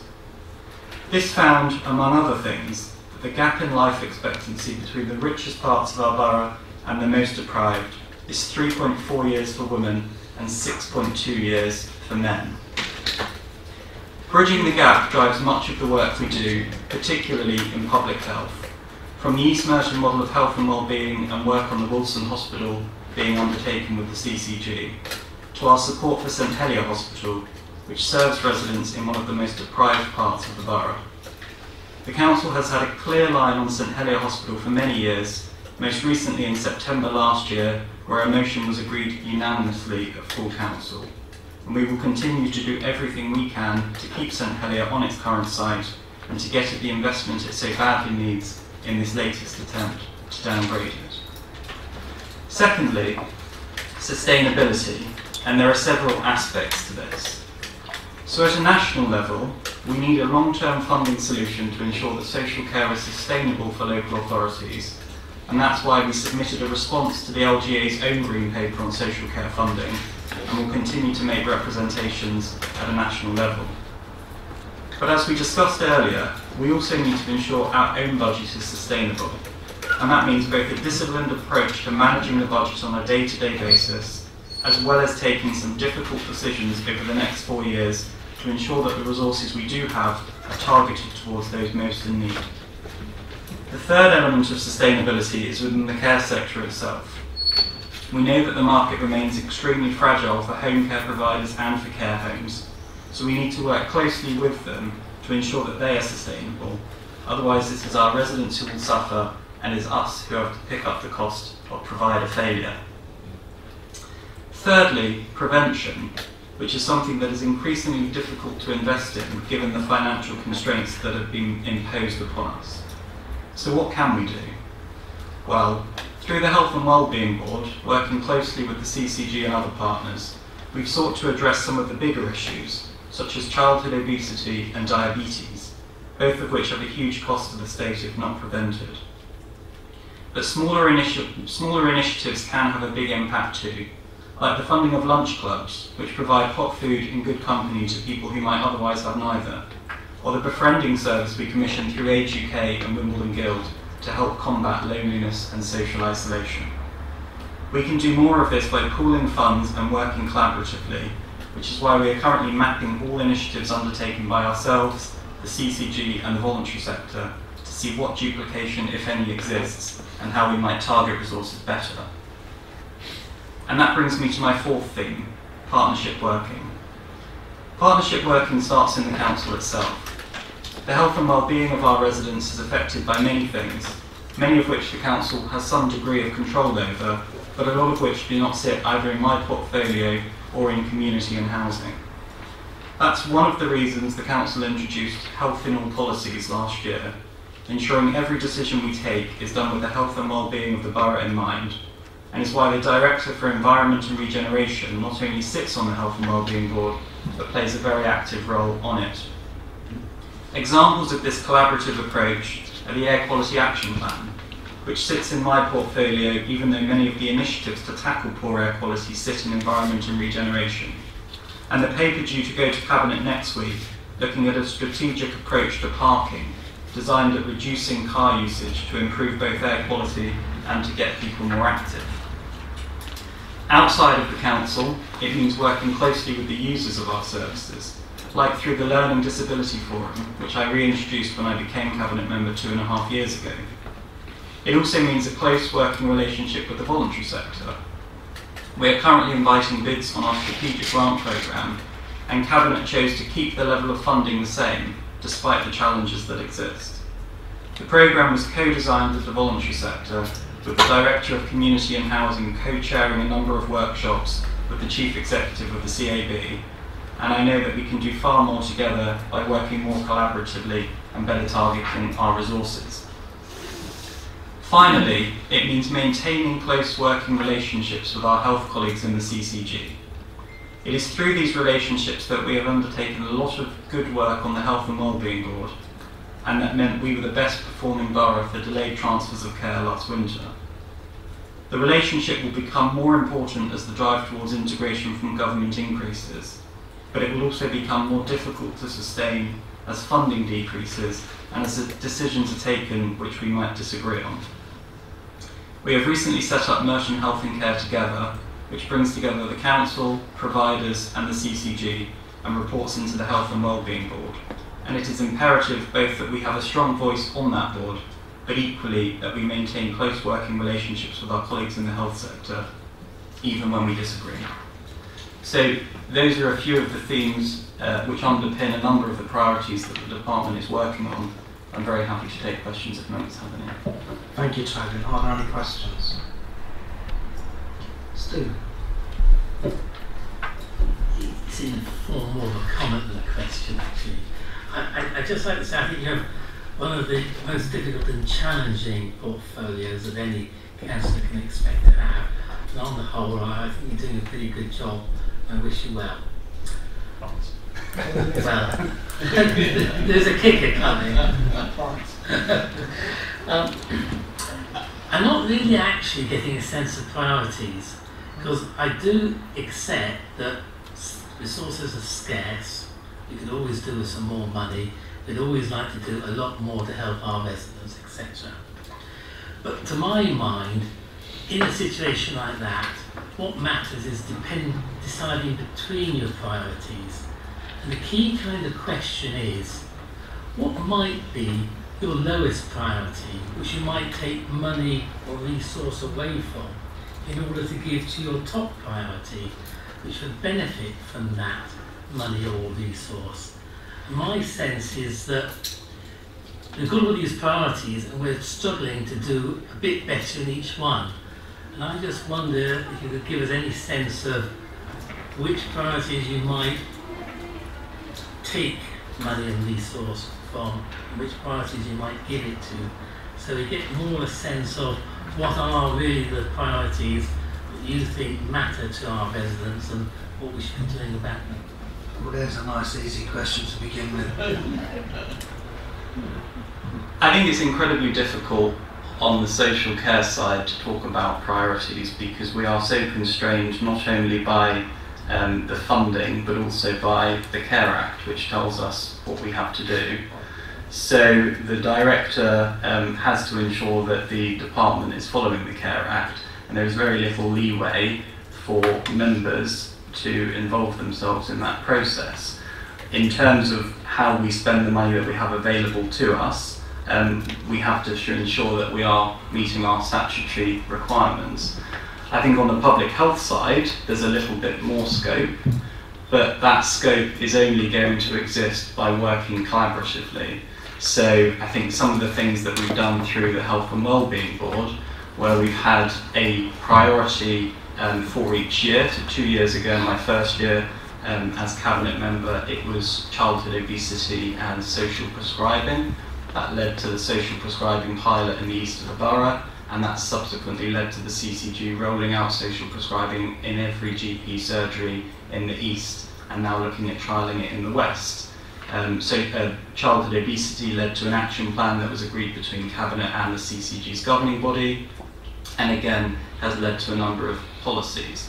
This year we've had um, diabetes, so we had a programme called the Diabetes Truth Commission, where every health and wellbeing member was paired with um, what we termed an expert witness, who was someone either suffering from type 1 or type 2 diabetes, um, diagnosed as a pre-diabetic or caring for someone with diabetes. Health and Wellbeing Board members spent a couple of months meeting their body to understand um, some of the factors which might have led them to become diabetic in the first place and what either the, the council or the CCG could have put in place to help them prevent becoming um, diabetic. And that's subsequently leading to a framework which again will be agreed um, between the council and the CCG, um, which should lead to better outcomes for residents. Um, the Wilson Hospital is another priority for the Health and Wellbeing Board, and again, it's working collaboratively. And I think that the, the underlying message here is that we have a very limited pool of money available to us. Um, we have a large number of responsibilities and we have rising demand. So it's very difficult to target that resource and actually we need to work not only with our health colleagues but also with our voluntary sector partners in order to maximise what we get out of that money. Thank you. Any other? Sally? Sorry, but you know you expect me to ask something about this. Um, you mentioned St Helier Hospital, and these are my opinions, and I could be wrong, but it is fantastic that whole of Merton Council voted to support keeping St Helier as it is. It's very noticeable. Sutton Council is exceedingly quiet about it, and we went to the same meeting in Sutton to try and make support a more active approach in that area. And one of the things that concerns me is that I think Sutton, this is my opinion, I could be wrong, would love the school, the new hospital with the Royal Marsden all clustered together as a sort of showpiece. But we had the um, Nuffield Trust do the deprivation report. How much weight will the Trust give to considering that element? Because St Helier supports a hugely deprived area more than the other two hospitals, the other Epsom or the new one would. And also the location issue, how much are they putting on that? Because before it was thrown out at being in the Banstead area on the Sutton site, the Belmont site, because it would involve compulsory purchase of property and the infrastructure is not there to support the construction of a hospital. So that would have to be factored in for compulsory purchase cost, etc. And my concern is is the trust giving enough weight to these two issues that would support the better value for money and need retaining St Helier rather than building a brand new hospital? Thank you. Um, so firstly, just on the decision-making process, it's not the trust that's making the decision, it's the commissioners. So it's um, Merton, Sutton and Surrey Downs CCGs who will come together as one committee and make that decision. In, in terms of what weight they are giving to different criteria, um, I don't know because we haven't been told that yet. So two workshops have taken place, uh, one took place last week and one took place today. Um, they have been facilitated by clinicians, but they have been um, comprised of residents who have put themselves forward. Um, the first workshop last week was to agree the criteria with which the options would be scored, and the second workshop today was to agree the weightings that would be ascribed to each criteria.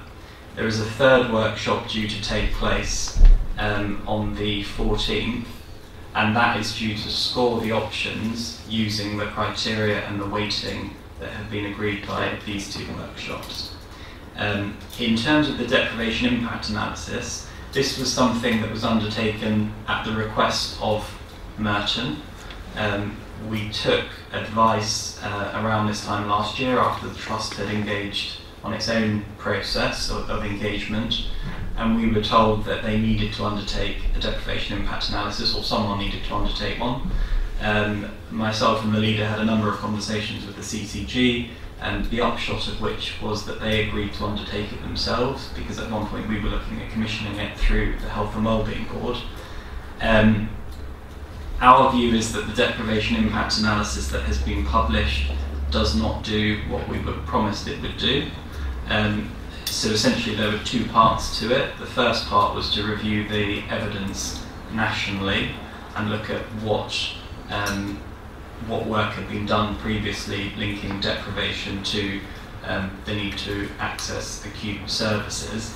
The second part was then to look specifically um, at the patch that uses Epsom and St Helier um, and look at the impact there. So what they've done is they have mapped deprivation across those areas and they've shown that particularly in Merton and Sutton and the bit of Sutton that accesses St Helier there are high levels of deprivation. But what they haven't done is drill down into that data to actually understand um, the number of residents with particular conditions who need to access particular types of healthcare. Our understanding was that that would form part of the DIA. Um, we're now being told that it will not be. So we are writing to the CCG to seek some clarification around that and depending on the um, response, we may take further legal advice. Thank you. John. Thank you, Toby. Um, thank you for your report also. Uh, you mentioned about social prosperity, which has been taken up in the east of the borough. Can you explain to us whether or not it has been taken up in other part of the borough? So the, the social prescribing pilot was initially um, in a couple of GP practices in the east of the borough.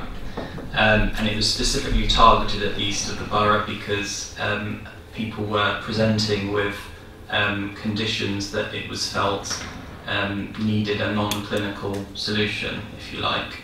Um, so the CCG funded the pilot. The pilot was so successful that they agreed to roll it out to every GP practice in the east of the borough. They are now looking at, rolling it out in the west of the borough too.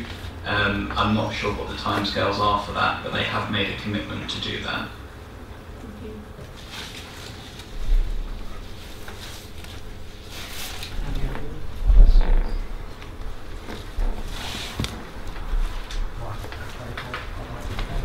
I'd like to thank For uh, presenting uh, his priorities and we'll move on to item nine, um, which is um, for me to just um, talk to you about what's been going on uh, with the, the JHOSC.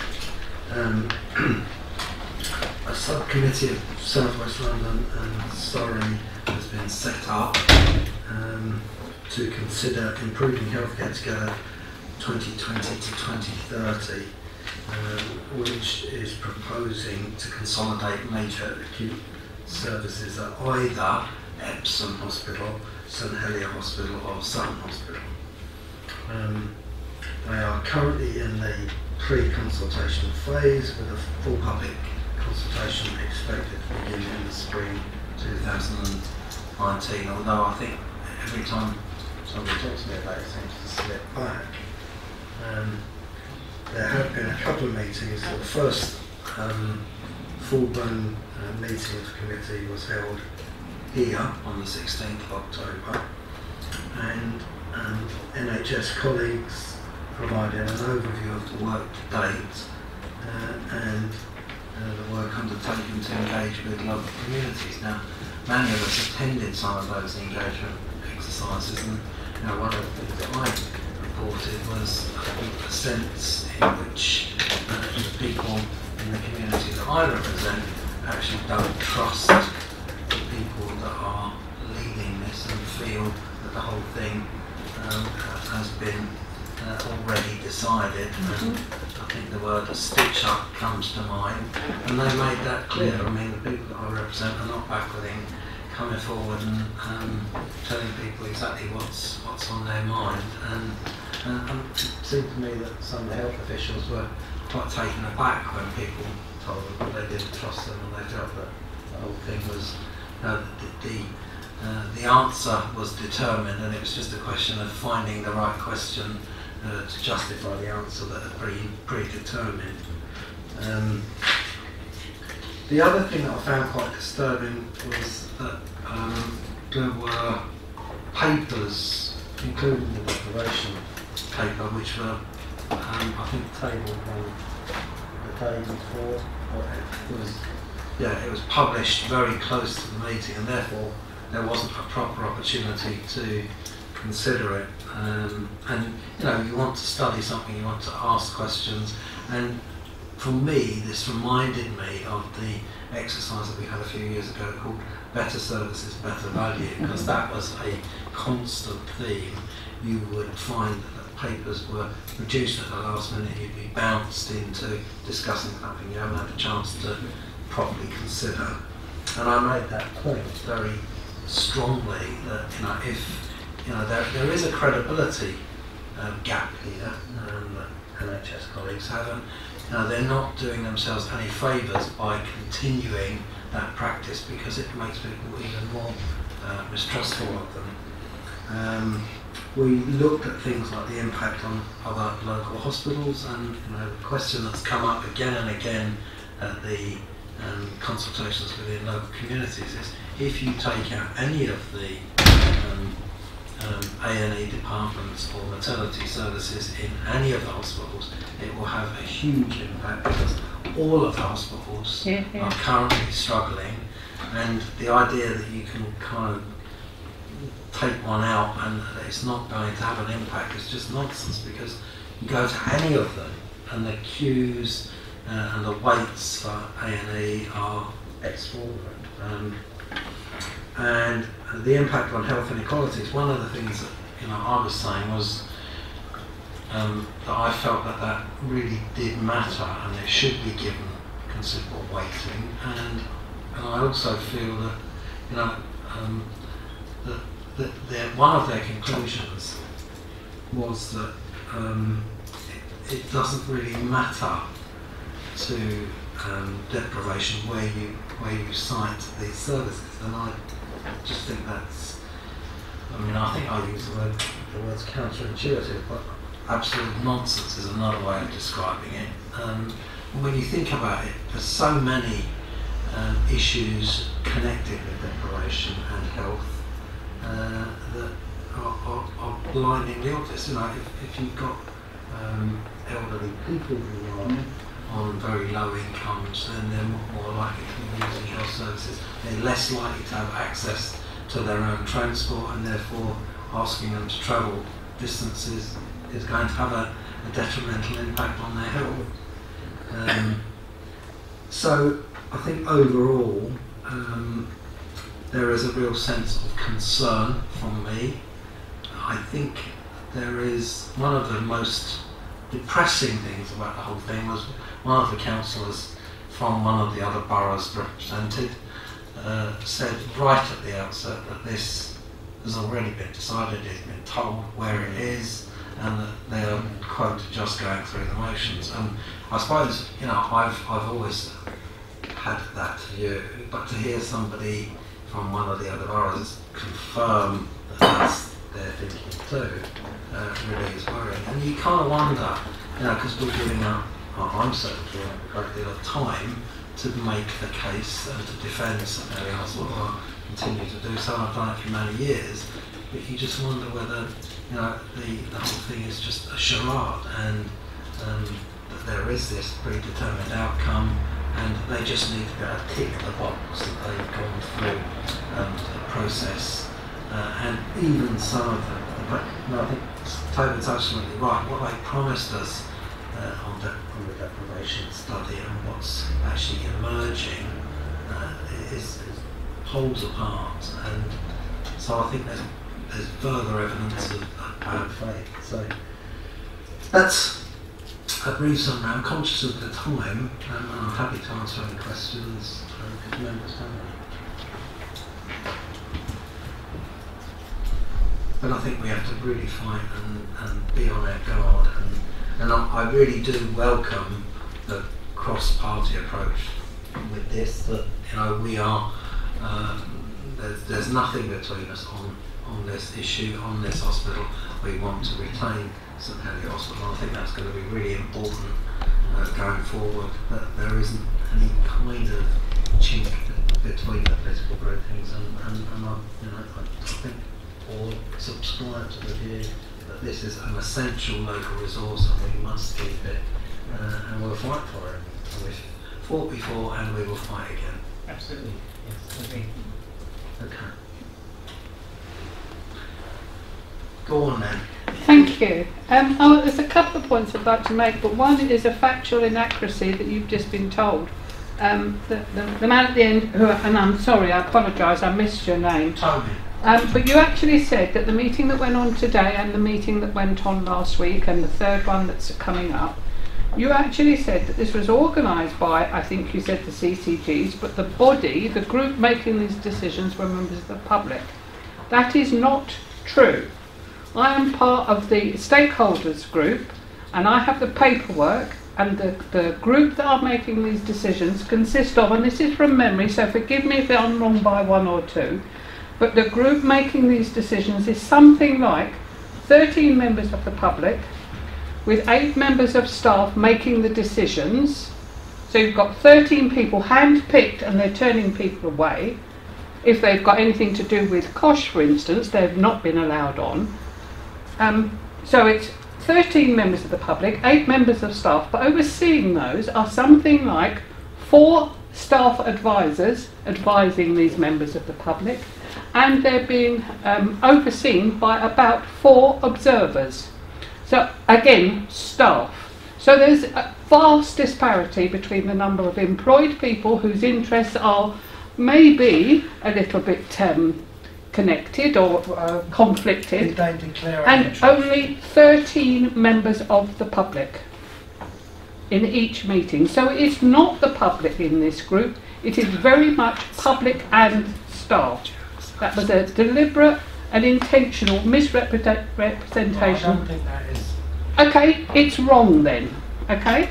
The other thing is that um, uh, you said that the previous engagements that several of us went to, including councillors, they have put out a report on the public's response to those engagements, and it is entirely misrepresents what I saw as the public's, uh, public's opinion at those meetings. It would, you would conclude from the report on that that the public were largely in agreement and thought it was a great idea to lose their hospitals. That's not what I saw, and I doubt that it's what any of the councillors here saw. So have a look at, please, I ask you as a councillor to have a look at the report, the conclusions from the previous set of engagements. They are totally misleading. And if you want, I can send you the link to that report. Thank you. Um, so, are there any other questions? Okay, well, um, that uh, concludes item 9. Item 10 is the work programme. Um, is that noted? Thank you very much. I'm sorry I've kept you here so long. I think we've had some important issues to discuss, and I think there's been some really useful contributions from the members. So thank you. Thank you.